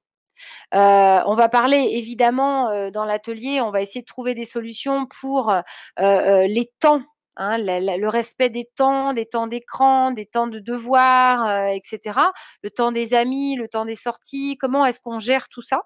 Alors après, je, c'est un atelier, donc je prétends pas résoudre toute, toute, votre vie et toutes les relations adolescentes, puisqu'encore une fois, ça dépend aussi beaucoup de, de, la relation que vous avez eue avec votre enfant. Mais je vous invite à, hum, je vous invite à, en amont, là, suite à cette conférence, à prendre un moment, là, vous avez un week-end de trois jours, en fait, en plus devant vous, euh, de prendre un moment en vous rappelant quelles étaient les relations que vous aviez avec votre enfant euh, au niveau euh, des rapports de, par exemple, récompense-punition. Comment vous fonctionnez? Qu'est-ce qui fonctionnait avec votre enfant? Euh, est-ce que c'était justement plus la récompense ou plus la punition? Euh, Et quand vous punissiez, dans quelle mesure et pourquoi? Revenez un petit peu sur ce que vous avez vécu en tant que parent avec euh, vos, enfants quand ils étaient plus jeunes. Et, ensuite, observez et écrivez et donc de, vraiment établir la relation que vous avez aujourd'hui et les points qui sont importants pour vous, qui sont importants du moins pour lui, ce que vous croyez ou ce que vous pouvez lui demander hein, aussi, vous pouvez lui poser la question, vous pouvez lui dire, écoute, voilà, je vais m'inscrire, notre relation est, est, compliquée, je ne sais pas comment, comment faire que ce soit mieux. Euh, et, je me suis inscrite à cet atelier. Est-ce que tu veux y participer ou si tu veux, je, t'y ferai participer. Euh, et, vous lui montrez ce que c'est, euh, etc. et, établissez ensemble déjà chacun de votre côté les points qui sont importants pour vous. Hein, ça, je pense que c'est essentiel. Alors, je, vais, euh, vais lire euh, le, commentaire de Vanessa. Euh, donc, petite précision. donc, je, rappelle que c'est la, maman du petit garçon dont on parlait tout à l'heure. Hein. il a des amis à l'école. Ok, ça c'est bien. C'est pour eux qu'il accepte d'y aller. Bon, bah déjà, c'est super. Il n'est pas en phobie scolaire. Attention, il y a plein d'enfants qui sont en phobie scolaire, hein, qui veulent plus aller à l'école. Il n'a pas de problème de compréhension, d'accord? Il est ah, d'accord, ok, c'est la deuxième option. Il aime plutôt vivre intellectuellement. Il a su lire avant l'entrée en CP à sa demande et a été dit ah bah voilà. Oui, alors Vanessa, ça c'est une info. Euh, j'en ai pas parlé parce que bon, en fait, j'ai fait une conférence, alors pas avec vous Audrey, mais il n'y a pas longtemps justement sur les hauts potentiels. Et euh, effectivement, euh, ce qui se passe certainement, c'est qu'il s'ennuie. Hein, puisque la maman me dit donc qu'il a été diagnostiqué au potentiel. La lutte est surtout entre mon mari et moi. Lui passe son temps à être en conflit avec notre fils et moi j'ai tendance à le laisser ne pas faire ses devoirs et à ne pas m'inquiéter plus que ça car j'ai confiance en lui. Je reste optimiste même si ce n'est pas évident. Merci beaucoup pour votre réponse. Ok, merci beaucoup Vanessa déjà de, dire tout ça parce que je sais combien euh, c'est difficile. Euh, donc là, vous avez évoqué un sujet que j'ai pas abordé dans la conférence, mais bon, on pourrait, euh, pourrait passer des heures à parler de la parentalité. Il est évident que euh, en tant que parent, en fait, quand on fait un, enfant, euh, on fait un projet. C'est une réalité. Hein. On fait un projet à deux. Et ce projet, on doit effectivement, on va amener chacun notre carte du monde. Hein, quand je parle carte du monde, c'est un terme qu'on utilise beaucoup en, PNL et en psychologie. C'est ce que j'amène moi, ma représentation du monde. Et donc, ma représentation du monde, elle est aussi conçue sur comment j'ai été éduquée. Donc, si vous voulez, Vanessa, peut-être qu'on pourra se trouver un moment pour en discuter un peu plus. Mais c'est certain qu'il y aurait peut-être besoin de vraiment arriver à trouver un accord. Et là, pour le coup, parfois, il faut un intermédiaire. Donc, c'est ce à quoi je sers hein, euh, euh, dans mon cabinet. Parfois, je ne reçois que les parents pour évaluer en fait la situation et, euh, dire ok on en est là mais si chacun campe sur ses positions on va continuer à avancer comme ça il n'y aura jamais de croisement et donc il n'y a jamais de point de rencontre et le problème c'est que les enfants ils vont pas aider à ça hein. eux ils vont accentuer ça c'est normal. D'ailleurs, c'est pour ça que vous savez très bien qu'on dit toujours qu'un enfant, ça ne, ça n'unit pas un couple. Hein. Ça a plutôt tendance à le diviser parce que ça vient chercher en nous, en fait, nos réactions par rapport à ça. Donc là, votre loulou, il, s'ennuie à l'école. donc, s'il a été diagnostiqué au potentiel, il faudrait déjà aller voir le collège et voir si ils ont des programmes par rapport à ça. Ça arrive, il y en a de plus en plus. Sinon, éventuellement, de voir si c'est possible pour vous, de voir s'il y a un autre établissement qui propose quelque chose. Parce que ce sont des enfants qui ont besoin de matière à réfléchir. Il faut faire attention parce qu'ils peuvent rapidement, effectivement, s'ennuyer, passer d'un thème à un autre en se disant je sais et donc du coup j'ai plus besoin d'approfondir. Donc ça c'est une réalité. Hein. C'est peut-être ça dont votre mari a peur en fait, c'est qu'il voit votre fils papillonner. mais effectivement, il faut avoir confiance aussi. mais ce qui est certain, c'est qu'il faut arrêter effectivement le conflit à la maison. Et le conflit, ça va passer par vous et votre mari, et euh, effectivement, après, en descendant sur, le, sur votre fils et sur le petit qui, qui va être impacté forcément. Parce que là, tout le monde souffre. Hein.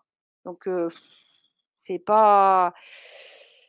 Voilà, c'est une année scolaire, ça dure quand même un paquet de mois, un paquet de jours. Et à un moment donné, il faut, faut, faut désamorcer. Hein. Moi, ce que je dis souvent quand les parents viennent me voir, c'est on prend la pelote, on tire le fil hein, et on essaye ensemble de démêler ce qui a été emmêlé sans jugement en disant OK, et encore une fois, c'est les priorités. Et peut-être que les priorités de votre mari ne sont pas les mêmes que les vôtres, mais peut-être qu'en fait, vous ne les avez jamais posées l'un à côté de l'autre. Et ce serait important de prendre un temps tous les deux, en dehors des enfants, pour essayer de bien établir ça et de dire jusqu'où sont les limites. Et parfois, il s'agit de dire que papa s'occupe d'un sujet et maman s'occupe d'un autre sujet et que chacun approuve définitivement les décisions de l'autre. Et que si jamais il n'approuve pas, il ne le fait jamais devant les enfants. Et ça se parle après, un autre moment, et où personne ne peut entendre. Parce qu'attention, ils entendent tout. Alors, ils le perçoivent, hein, donc c'est mieux d'être convaincu de, de, son approbation. Mais euh, déjà, Mmh, d'extérieur. Euh, j'ai l'image pour vous, pour vous dire comme, comme c'est important en fait le, la façon dont on va agir face à l'autre. Vous savez, l'enfant qui tombe euh, et qui, euh, qui regarde maman pour savoir comment elle va réagir. Si maman est affolée, bébé pleure. Si maman mmh, est là et ne dit rien, il continue, il se remet debout et il continue. Si maman applaudit, c'est pas forcément non plus, voilà, c'est pas forcément non plus adéquat. Mais on va dire que l'enfant va observer le parent pour savoir comment il réagit face à une situation donnée. Mais ça, c'est un comportement qu'il a dès la naissance. Quand je dis naissance, euh, c'est au moment, surtout au moment où il voit, hein, parce que là, il perçoit en fait toutes les mimiques de ses parents. Et ben, ça, ça continue jusqu'à plus grand. Donc, si papa a un comportement qui n'approuve pas ce que maman fait, en fait, il va encore plus être en rébellion. Ça, c'est vraiment, euh, euh, c'est vraiment important de le comprendre. C'est que peut-être qu'il aura, euh, il va se sentir plus proche de vous parce que vous avez cette empathie, vous avez cette compréhension, et du coup, puisque papa ne veut pas le comprendre, eh ben, je vais encore plus le montrer. Ça peut. C'est pas conscient, hein. C'est pas de la manipulation. Hein faire attention. Hein, la manipulation, le mensonge, c'est bon à partir de 10-12, hein, où vraiment il y a une volonté. Mais sinon, sinon c'est plus, voilà, c'est plus pour tester. C'est pas forcément pour, pour mentir pour mentir. Hein, c'est plus grand. Au moins pour mentir, plus grand. Et, donc juste, je me permets de, continuer un peu. J'ai presque fini mon plan. Je suis contente. J'avais peur de ne pas tout vous dire. je suis contente. Euh, on parlait des priorités. Euh, donc le sommeil, c'est super important.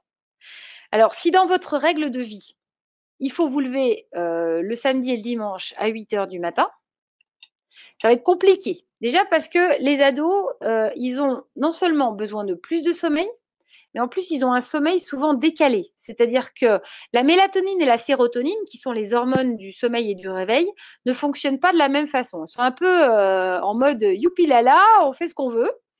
Ce qui fait que du coup, euh, ils vont avoir besoin de s'endormir plus tard. Et donc forcément, comme en plus ils ont besoin de plus de sommeil, ils vont avoir besoin de se lever plus tard. Alors, dans quelle mesure c'est important pour vous qu'ils soient debout à 8 heures du matin? Moi, je vais vous donner un exemple, c'est mon exemple. Moi, j'ai toujours eu beaucoup besoin de sommeil. Et mon père était convaincu que l'avenir est à ceux qui se lèvent tôt. C'était sa belle croyance. Et donc, euh, un jour, je me suis dit, bon, allez, je vais lui faire plaisir. Euh, je me suis levée pour étudier. Et euh, il est venu trois heures plus tard, j'étais la tête sur mon cahier je dormais sur mon bureau. Donc en fait, ça n'avait pas servi à grand chose. Je m'étais levée, douchée, petit déjeuner, hein, la totale. Hein, ça n'avait rien fait. En fait, j'avais juste besoin de dormir. Et, et c'est une réalité. C'est un besoin physiologique. Et ça, c'est reconnu, c'est calculé, c'est étudié, tout ce que vous voulez. Donc, si vraiment vous avez un, objectif de, quelque chose, bah vous, vous anticipez, vous dites demain on a une sortie de famille, on a un repas de famille, s'il te plaît, exceptionnellement, demain tu te lèves à telle heure, ou je viendrai te réveiller à telle heure. Mais sinon, euh, c'est pas la peine de, de, lever, le lever à 8 heures ou 9 heures du matin. Vous allez créer un conflit. Laissez-le dormir. Alors après, s'il décide de dormir, que vous, vous faites votre vie et que vous avez préparé à manger, etc., quand il se lève, il ne trouve pas son assiette sur la table prête. Hein. Il se débrouille, forcément. S'il ne respecte pas, entre guillemets, le fonctionnement de la maison, hein, là on revient sur le respect, à ce moment-là, c'est OK. Bah, du coup, quand tu te lèves, alors s'il veut petit déjeuner à 2 heures, à 2 heures de l'après-midi, c'est pas grave. pas mourir. Laissez-le petit déjeuner. Peut-être qu'il fera le dîner avec vous. C'est super. Vous avez un ado qui dîne avec vous, mais soyez content. bon, pareil, il peut y avoir une règle. Pas de téléphone à table. Et ça veut dire qu'il faut que vous la respectiez. Ça veut dire que votre téléphone, il faut qu'il soit en silence. Aussi. Parce que si vous donnez des règles mais vous ne les respectez pas, ça ne marche pas. Ça paraît logique, mais je le dis quand même. Euh, l'alimentation, c'est sûr qu'ils n'ont pas les mêmes concepts que nous, mais ils n'ont pas non plus les mêmes besoins. Donc, ce qui est important, c'est que vous, vous continuiez à lui proposer une alimentation variée euh, et, quand même à lui demander au moins que le soir, il ait un repas, on va dire, euh, avec des légumes et des fruits, parce que c'est important pour, euh, pour leur développement, hein, et que ce soit pas que des hydrates de carbone, des pâtes, du riz et du sucre, et, des produits industriels, parce qu'ils ont besoin, ils consomment beaucoup. Donc ça, c'est important aussi. Mais après, faites pas la chasse. Hein.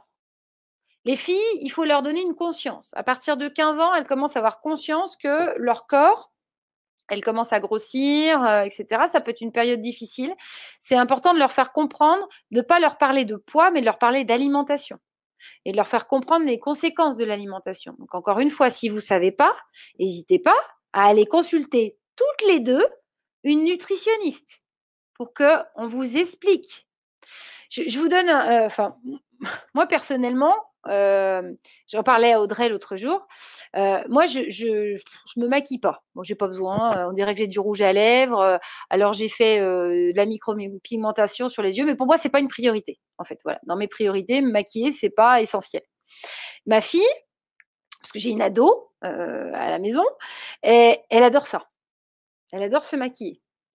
Et moi, j'ai vu le coup où j'ai commencé à avoir des moments où je me disais non, ça va pas être possible, elle va pas sortir comme ça quand même. Donc, du coup, plutôt que de lui dire non, mais tu ressembles à un, hein, vous savez quoi, je me suis dit ok, on va prendre en amont. et donc, j'ai, je lui ai payé un cours de maquillage. Donc, du coup, on lui a expliqué comment se maquiller. Alors maintenant, elle peut plus dire qu'elle sait pas faire parce que les tutos sur Internet, c'est un peu limite. Là, la, maquilleuse, elle lui a expliqué euh, les bases, le produit, machin. Elle lui a montré euh, le fond de teint qui allait bien pour sa, pour sa peau. Elle lui a montré ce que ça faisait quand elle en mettait un qui était trop foncé, etc., etc. Donc, c'était vraiment, ça a duré deux heures. Ça m'a coûté, je crois, une centaine d'euros ou 150 euros. Ben, c'était 150 euros très bien investis parce que cette personne en plus était très pro et, moi je les ai laissés, j'ai pas été là et, ça s'est très bien passé. Après, moi j'ai un système pour l'argent et c'est le sujet que j'allais aborder après où ma fille se paye son maquillage. C'est-à-dire que pour moi c'est pas une priorité. Donc moi je paye d'autres choses, mais ça non. D'ailleurs en fait ma fille se paye tout parce qu'on est arrivé à un système de en fait la punition ne marchait plus du tout. J'ai essayé beaucoup de choses. Hein. Et euh, alors, je vous, euh, je fais un petit cadeau ce soir. Je vous donne un truc qui fonctionne. Alors, ça ne fonctionne pas avec tous les ados. Il faut avoir des ados, je le dis pour les parents qui ont des ados qui, qui quand même qui bossent qui sont pas euh, voilà qui, quand même qui font quand même des efforts euh, au, collège ou au lycée et euh, qui arrivent à quand même avoir des notes au-dessus de 12 voilà. Ça ça ça bon ça peut être au-dessus de 10 c'est pas la question mais je veux dire quand même des, enfants qui font des efforts. Si votre gamin il fait aucun effort ça ça va pas marcher. Quoique ça peut. Je vous le donne. Petit cadeau de ce soir. Un gamin qui bosse pas ou qui a des mauvaises notes, si vous le punissez, comme je vous ai expliqué, vous continuez à taper dessus. c'est pas super efficace. Par contre, si, comme il, est censé travailler pour lui, c'est pour lui qu'il bosse, c'est pas pour vous. Hein, vous en fichez qu'il ait des bonnes notes. Sur le fond. Sur le fond, vous en fichez. C'est pour lui, pour ses études, pour le futur. Bien sûr que vous en fichez, vous en fichez pas, mais, dans la réalité, c'est ça. Et c'est ça qu'il doit comprendre. Eh bien, vous établissez ensemble, si votre enfant a l'habitude d'avoir 12 de moyenne, ça veut dire qu'il a des notes en dessous et des notes au-dessus. Vous établissez un barème et vous décidez, alors ça va dépendre de la classe, hein, s'il est déjà au lycée, le montant va être plus et, s'il est au collège, ça va être moins. Vous décidez d'un montant, alors j'allais dire pour les sixième, cinquième, quatrième, c'est quand même, tout, vous n'allez pas pouvoir le mettre en place. Mais bon, on va rémunérer pour une note qui dépasse une moyenne. C'est-à-dire que vous pouvez établir que, par exemple, pour 14, il aura, pour chaque note de 14, il aura 10 euros. Je peux vous dire que ça va vous coûter cher. Parce que ça marche, mais ça marche grave. Parce que là, vous êtes dans ces priorités-là. Euh, ça peut être, euh, ça peut être par exemple euh, aussi, bah, du coup, je te paye un forfait avec plus d'internet. Ça peut, ça peut marcher aussi. Il hein, faut être créatif. Hein. C'est d'aller voir les priorités de votre, votre enfant. Ok. S'il est au lycée et qu'il arrive à dépasser 16, c'est 20 qu'il faut lui donner. 20 euros. Et au lycée, c'est bien de commencer dès la seconde à responsabiliser. Donc du coup, moi je vous donne l'exemple que j'ai mis en place, c'est que ma fille, elle a une carte bancaire qui lui permet de faire des retraits et des, et des paiements. C'est une carte que je vois, je vois les mouvements, etc. Mais c'est sa carte avec un code, etc. Déjà, vous ne pouvez pas imaginer la responsabilisation et le, le côté. Elle était super fière d'avoir une carte bancaire à côté de ses copines. Hein. Là, j'ai fait, je vous raconte pas, là, je suis montée dans maman, elle est top. Hein. Ah non, mais c'est vrai, c'est important de temps en temps. Ça fait du bien aussi parce que des fois on se dit, moi je suis plus la maman chérie. Euh, j'aimerais bien qu'elle me voit encore comme la super maman. Bah non, c'est plus le cas. Donc une carte bancaire avec un euh, et elle a en fait elle a un euro par jour. Ça veut dire 30 euros par mois. Si vous pouvez financièrement, si vous en avez qu'une, si etc. Elle a un euro par mois, un euro par jour, pardon. Donc ça fait à peu près une moyenne de 30 euros. Et sur cette base de 30 euros, pour toute note qui dépasse, alors elle, elle n'a pas, euh, elle a pas en dessous, elle a que à partir de 16, euh, elle a 20 euros. Il y a des mois, j'ai mal au porte-monnaie. Hein. J'ai mal. Alors, c'est que les notes écrites. Hein. Euh, les notes orales, c'est 10. Hein. C'est pas, c'est pas 20 quand même. Mais parce que, bon, en plus, il se trouve que. Tu mets le système en place, elle avait souvent des 16 Alors, non seulement elle n'avait pas des 16, mais en plus, non, non, je vais vous dire un truc, c'est que moi, je me suis pris de plein fouet le fait que je n'avais pas adapté mon comportement. Et je l'ai pris, mais alors, elle m'a fait, mais je, peux, elle m'a fait des conneries. Elle a téléphoné pour gagner un iPhone, j'en ai eu pour 200 balles de téléphone elle a dépassé son forfait parce qu'elle avait un forfait super machin, nanana, et soi-disant, elle n'a pas fait gaffe, j'ai eu des notes de téléphone de ouf. Donc, à un moment donné, je dis stop. Je punissais, ça servait à rien. Ça marchait pas, ça avait pas de, j'avais pas d'emprise en fait. Je sentais que c'était, euh, et je suis sûre qu'il y a des parents qui, voient ce que je veux dire par là. C'est-à-dire que j'ai l'impression que j'avais plus l'attraper. avant, euh, avant j'arrivais à contrôler. Bah, je contrôlais plus rien du tout. Donc j'ai dit ok, on va faire autrement. Donc, euh, euh, comme effectivement, euh, moi, j'étais pas OK pour payer son maquillage et que j'étais pas OK pour payer des fringues tous, les, tous les mois, etc. Ou même pour lui acheter un truc qui valait, qui, qui je sais pas, par exemple, les marques et les choses comme ça. Je n'étais pas OK avec ça. J'ai dit OK, tu vas te gérer. Donc là, cette année, je lui ai passé son forfait avec un forfait. En fait, maintenant il y a des forfaits malgré tout avec des connexions internet qui sont quand même assez raisonnables. Et je lui dis, je te le paye encore cette année, mais l'année prochaine ça sort de ton compte. J'ai durci un peu. Hein. Hein. Donc, on se responsabilise un peu. Comme je vous ai dit, il faut adapter en fonction de l'âge. C'est évident, vous n'allez pas mettre une carte de crédit à un gamin, un gamin qui est en sixième. Ça paraît logique. Par contre, il peut avoir de l'argent de poche. Il peut avoir du liquide. Hein. Et donc, elle se paye son maquillage, ses vêtements, etc. Et elle paye aussi les cadeaux d'anniversaire de ses copines. Quand elle prend le bus ou machin, elle paye, elle paye ce, qui, ce, qui correspond à sa vie à l'extérieur de la maison. Évidemment, c'est moi qui paye les lunettes ou, ou voilà. Mais par exemple, les lentilles, qui est pour moi est un, luxe parce que voilà, elle n'est pas, elle est pas obligée d'en porter. Et ben, elle se paye ses lentilles. Mais il y a des mois, j'ai mal au porte-monnaie. Alors, je suis contente, hein. Non, mais. De toute façon, oui, y a... ça marche. essaye, essaye, de mettre 30 euros le 18. Tu mets 30 euros un 18 sur 20, elle va avoir son bac avec mention excellent. mais. Alors en fait, ce qui se passe, c'est que moi, j'ai pas de, j'ai pas de, je ne je l'ai pas fait pour mettre la pression. C'est-à-dire que le, mon objectif, c'est pas de lui dire, euh, si tu as 14, tu auras quelque chose. C'est comme tu as eu 14, tu mérites. C'est vraiment différent. C'est, mmh. le positionnement n'est pas le même. Je suis pas du tout sur un mode euh, euh, descendant en lui disant Oui, oui, bah écoute, si tu as 14, je te file 20 balles. Non, non, c'est à U14, bravo. Et je, la félicite aussi verbalement par mmh. rapport à ça. Parce que parce que c'est valoriser le travail. Mais quand vous allez bosser, vous, avez un salaire. Alors peut-être que vous considérez que vous êtes mal payé, euh, mais vous avez un salaire à la fin du, mois pour votre travail. Les, ados, ils bossent des fois 10 euh, heures par jour. Euh, ils ont besoin d'avoir l'impression que leur travail est reconnu. Et vous savez, en plus, en France, on a un mode de, correction de devoir qui est, qui est punitif, en fait. On ne met pas des points pour ce qu'on sait, on enlève des points pour ce qu'on ne sait pas. Et donc, il faut surtout pas rentrer dans la même dynamique. Il faut toujours tirer vers le haut en disant, comme tu as eu une bonne note, je te félicite. Mais il faut que ce soit mérité, euh, euh, mais mérité dans le, dans le bon sens du terme. Euh, moi, c'est 14 parce que, mais par exemple, elle a une matière où elle est vraiment super bonne.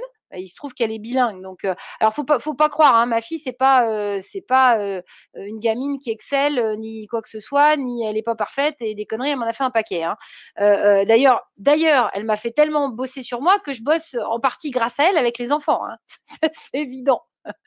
Mais j'ai perdu le fil. Je commence à être fatiguée. Je crois que ça fait un petit moment qu'on popote.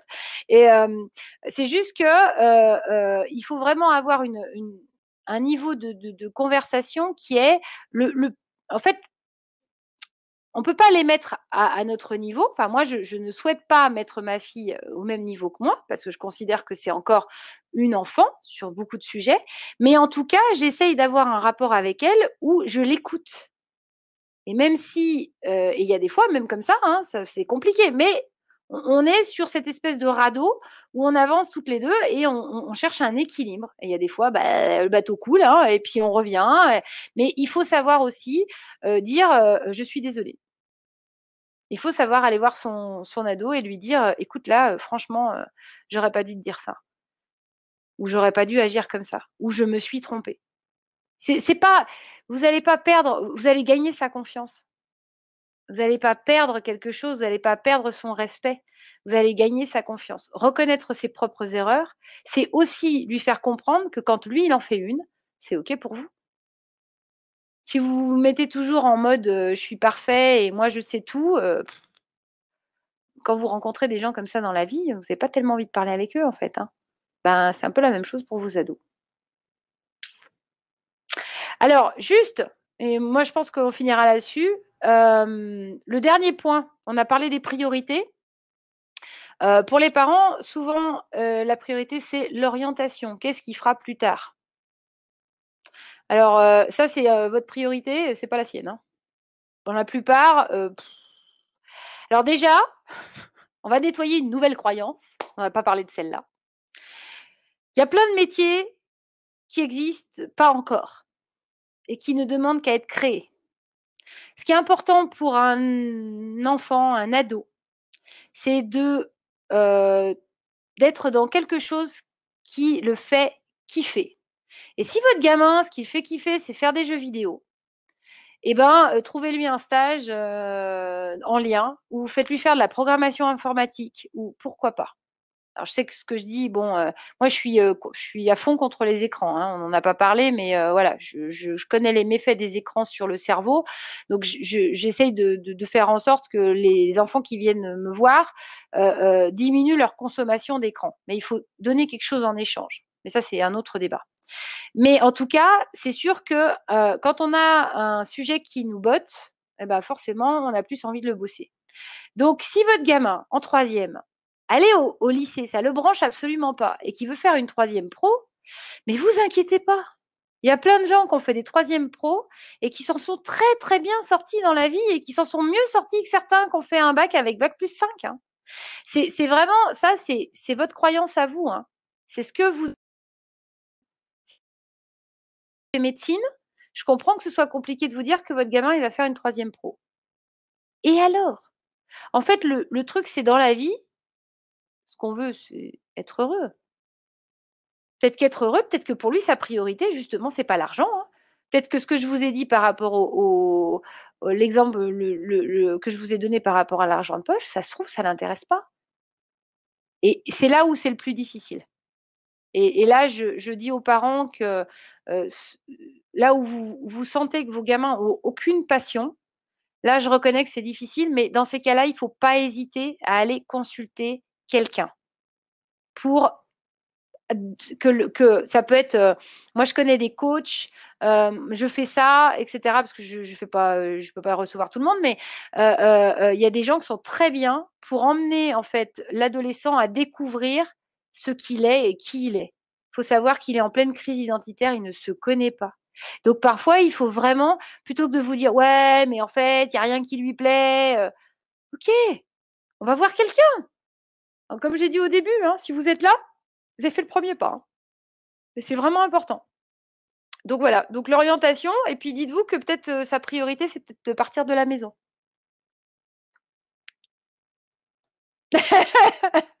Mais c'est pas grave. peut-être. Ok, bah à ce moment-là, essayez de voir ce que ça vous fait. Et puis si vraiment c'est sa priorité, bah, essayez de faire en sorte que ça se passe bien. Et peut-être que c'est partir un an à l'étranger, et peut-être que pourquoi pas. Mm. Et on peut le faire jeune, hein, 16, 17 ans. ce sont des magnifiques expériences. je connais énormément de personnes qui sont allées euh, faire une année euh, scolaire, donc à 16, 17 ans aux États-Unis, en Australie, ça. C'est ça. Ça a changé leur vie. C'est hein. juste que, est-ce que, est que pour vous, en tant que parent, c'est possible de laisser partir votre gamin? Mais ça, on en revient à vous. Mm-hmm. Et si vous voulez bosser la relation avec votre ado, va falloir travailler sur vous. En fait, c'est ça, ça fait partie de l'atelier. Hein. Mm, ouais. Ben, mais, mais c'est une relation. Quand vous êtes en couple, euh, vous voyez bien qu'à un moment donné, euh, l'autre, il vous dit il faut que tu avances sur tel sujet, sinon ça, ça merdoit. Et ben c'est pareil avec un ado. Sauf que c'est c'est multiplié parce que c'est la chair de votre chair, c'est votre sang, et, vous, voulez, vous voulez en faire un être parfait, ce qui est tout à fait légitime. Mm. Vous voulez, vous voulez surtout pas qu'il passe par les mêmes erreurs que vous. Sauf que de toute façon, moins vous voulez qu'il passe par les mêmes erreurs que vous, plus il va y aller. Hmm. non, mais c'est vrai. Donc à un moment donné, c'est de se dire qu'une erreur, c'est une expérience. Mais que si elle est encadrée, elle peut bien se passer. Hmm. Écoute, je sais pas si euh, j'aurais bien aimé avoir un petit peu plus d'interaction avec euh, avec les, les, personnes qui sont qui nous écoutent. Euh, est-ce que ce silence démontre que je je vous ai assommé et, et, du coup du coup vous dites elle est complètement frappadingue. Mais non non je vous promets ça marche ça marche ça fonctionne. Et euh, bah, écoute, merci beaucoup Sophie pour, euh, pour cette conférence. Et euh, avec plaisir. Pour, bah, si vous avez si c'est conflictuel entre vous et votre ado, si vous ne savez pas vraiment comment lui parler, si vous avez besoin justement de savoir aussi quelles sont vos priorités, quelles sont vos valeurs de base, de référence, etc., c'est pas toujours évident parce que comme ce que disait Sophie, c'est que finalement, pour avoir une bonne relation avec votre ado, la première chose sur laquelle vous devez travailler, c'est vous-même. Et euh, pour amener euh, votre ado à se connaître, à, à aller euh, sur le chemin de, euh, de la maturité, ben, il est important aussi que vous, ce soit clair pour vous aussi qui vous êtes. Parce que lui, il aura du mal à se trouver si vous-même, déjà, c'est flou. Euh, donc, en fait, moi, c'est là où je trouve que ton atelier, il est très, très pertinent parce qu'il travaille à la fois sur la relation et il travaille à la fois sur le parent en tant que tel. Donc, euh, donc voilà. C'est un principe de mmh. base, juste pour appuyer ce que tu dis.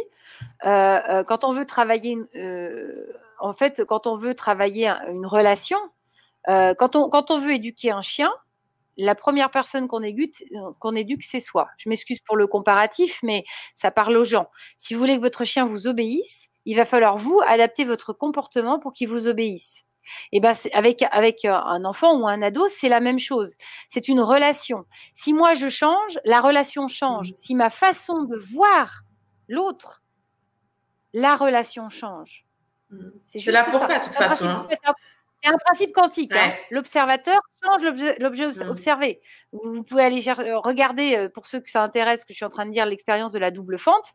Mais c'est ça. L'observateur change l'objet observé. Si j'observe la relation, que je prends du recul, sur moi et sur la relation et sur mon enfant, à ce moment-là, je vais créer un changement. Mmh. C'est sûr. Voilà. Et puis, euh, puis quelque part, c'est ils sont là pour ça. Tu le disais tout à l'heure, mais, euh, on a du mal, on a tendance à se dire oui, mais non, mais c'est son âge, mais c'est parce que il fait que nanana, mais finalement, en fait, il vous renvoie ce que vous avez besoin de travailler chez vous. Donc, en fait, il vous donne l'opportunité, vous, de grandir. C'est vous l'adulte, mais c'est votre adolescent qui vous donne cette opportunité-là. Donc, saisissez-la. Ouais. Et puis c'est dommage de passer euh, de passer quatre ans en conflit avec son ah, mais sûr. avec son gamin. Et en plus en plus si ça se passe vraiment mal, après ça peut aussi prédisposer l'ado à mal vivre sa vie d'adulte. C'est ça. Et après, ça peut aussi engendrer des dérapages, c'est-à-dire des personnes qui ne sortent pas vraiment de l'adolescence, ou du moins qui en sortent pour, euh, bah, pour zoner, quoi, pour être complètement perdus. Euh, oui, ou qui rentrent en conflit hum. euh, avec leurs parents en disant, de toute façon, ça s'est super mal passé, non mais c'était terrible, voilà. Donc c'est c'est encore une fois, hein, on en revient toujours au même point. Hein. Si ce que hum. vous faites, ça ne fonctionne pas, faites différemment. Hum. Moi, ce que je vous propose, c'est de vous aider en fait, à trouver des différemment. Alors peut-être, comme vous avez entendu, hein, peut-être que des fois, il y a des différements qui vont être genre, oh, oh. Mais ça marche. Hmm. Alors le coup de la bassine, il y en a, ils peuvent mettre en place. Hein. Euh, demain, samedi, on va tous euh, acheter une grande bassine. Et, euh, et voilà, c'est comme le linge, le linge sale. Hein. Tu m'as fait mourir de rire avec ton exemple. C'est juste extraordinaire. ouais, il faut être créatif. Hmm. Ah, mais tout à fait. Mm. C'est exactement ça qui nous pousse. Hein. Euh, c'est être créatif. C'est ça. Alors, en tout cas, merci ben, euh, à tous. Merci à tous ouais, de, de, nous avoir suivis. Donc, euh, je vous le rappelle, donc, vous avez le lien dans le chat, le bon lien. On a eu un petit souci tout à l'heure. Donc là, je vous l'ai remis. Donc, vous avez juste à cliquer. Si vous nous regardez sur YouTube, vous avez également le lien dans la description de la vidéo. Et si vous nous regardez en replay, vous l'aurez également sur le site au-dessus ou en bas de, de la vidéo que vous êtes en train de regarder. Donc pour le programme, je rappelle que ce que vous allez voir dans cet atelier qui se passe le 20 juin à 21h, donc c'est un jeudi, euh, c'est une méthodologie d'organisation pour euh, comprendre euh, ses besoins, ses priorités et vos besoins, vos priorités, trouver une solution pour ne plus être en retard et faire à temps ce, enfin, pour l'adolescence, ce qu'on lui demande sans que ce soit une corvée. Trois exercices concrets à deux, c'est-à-dire des exercices de relation et de communication pour apprendre à parler à son adolescent, à l'écouter, mais aussi lui montrer comment le, vous parler et placer ensemble des limites de, ce que chacun considère comme acceptable. Il y aura aussi un moment gestion des émotions. Et euh, donc à ce moment-là, vous verrez avec Sophie un questionnaire individuel pour reconnaître ses vraies émotions d'adulte. Et euh, quand on reconnaît ses vraies émotions d'adulte, c'est à ce moment-là qu'on peut reconnaître celles de son enfant donc son ado. Et enfin, euh, vous euh, parlerez ensemble aussi de l'orientation. Euh, donc voilà, trouver, trouver des solutions concrètes pour des choix sur le futur scolaire et ou professionnel. Donc c'est un atelier qui se passe en live, Mais éventuellement, si vous n'êtes pas disponible à cette date-là, vous pourrez quand même, ben, quand même faire le choix de suivre cet atelier et vous aurez le replay parce que quand vous achetez un, atelier à l'Académie de la Nouvelle Vie, vous devez savoir que vous avez un espace de formation euh, et, donc, dans votre espace de formation, ben, tous vos achats euh, y sont. Et euh, ils y seront aussi longtemps que l'Académie de la Nouvelle Vie existe. existe. Donc, donc voilà. Donc même si vous n'êtes pas là ce jour-là, c'est pas un souci. Si vous êtes là, c'est vraiment le must parce qu'il y aura un chat et vous pourrez donc échanger et afin que cette conversation soit vraiment enrichissante pour vous, pour parler de vos problématiques personnelles, voilà, pour aller au fond des choses. Voilà, voilà. Je crois qu'on a fait le tour. Merci beaucoup. Merci. Merci à euh, tous. bonne, bonne, bonne nuit et bonne réflexion. Voilà. Et puis, on se dit à, très vite sur l'Académie, euh, pour une autre conférence sur l'Académie de la Nouvelle Vie. Belle soirée à tous. Merci.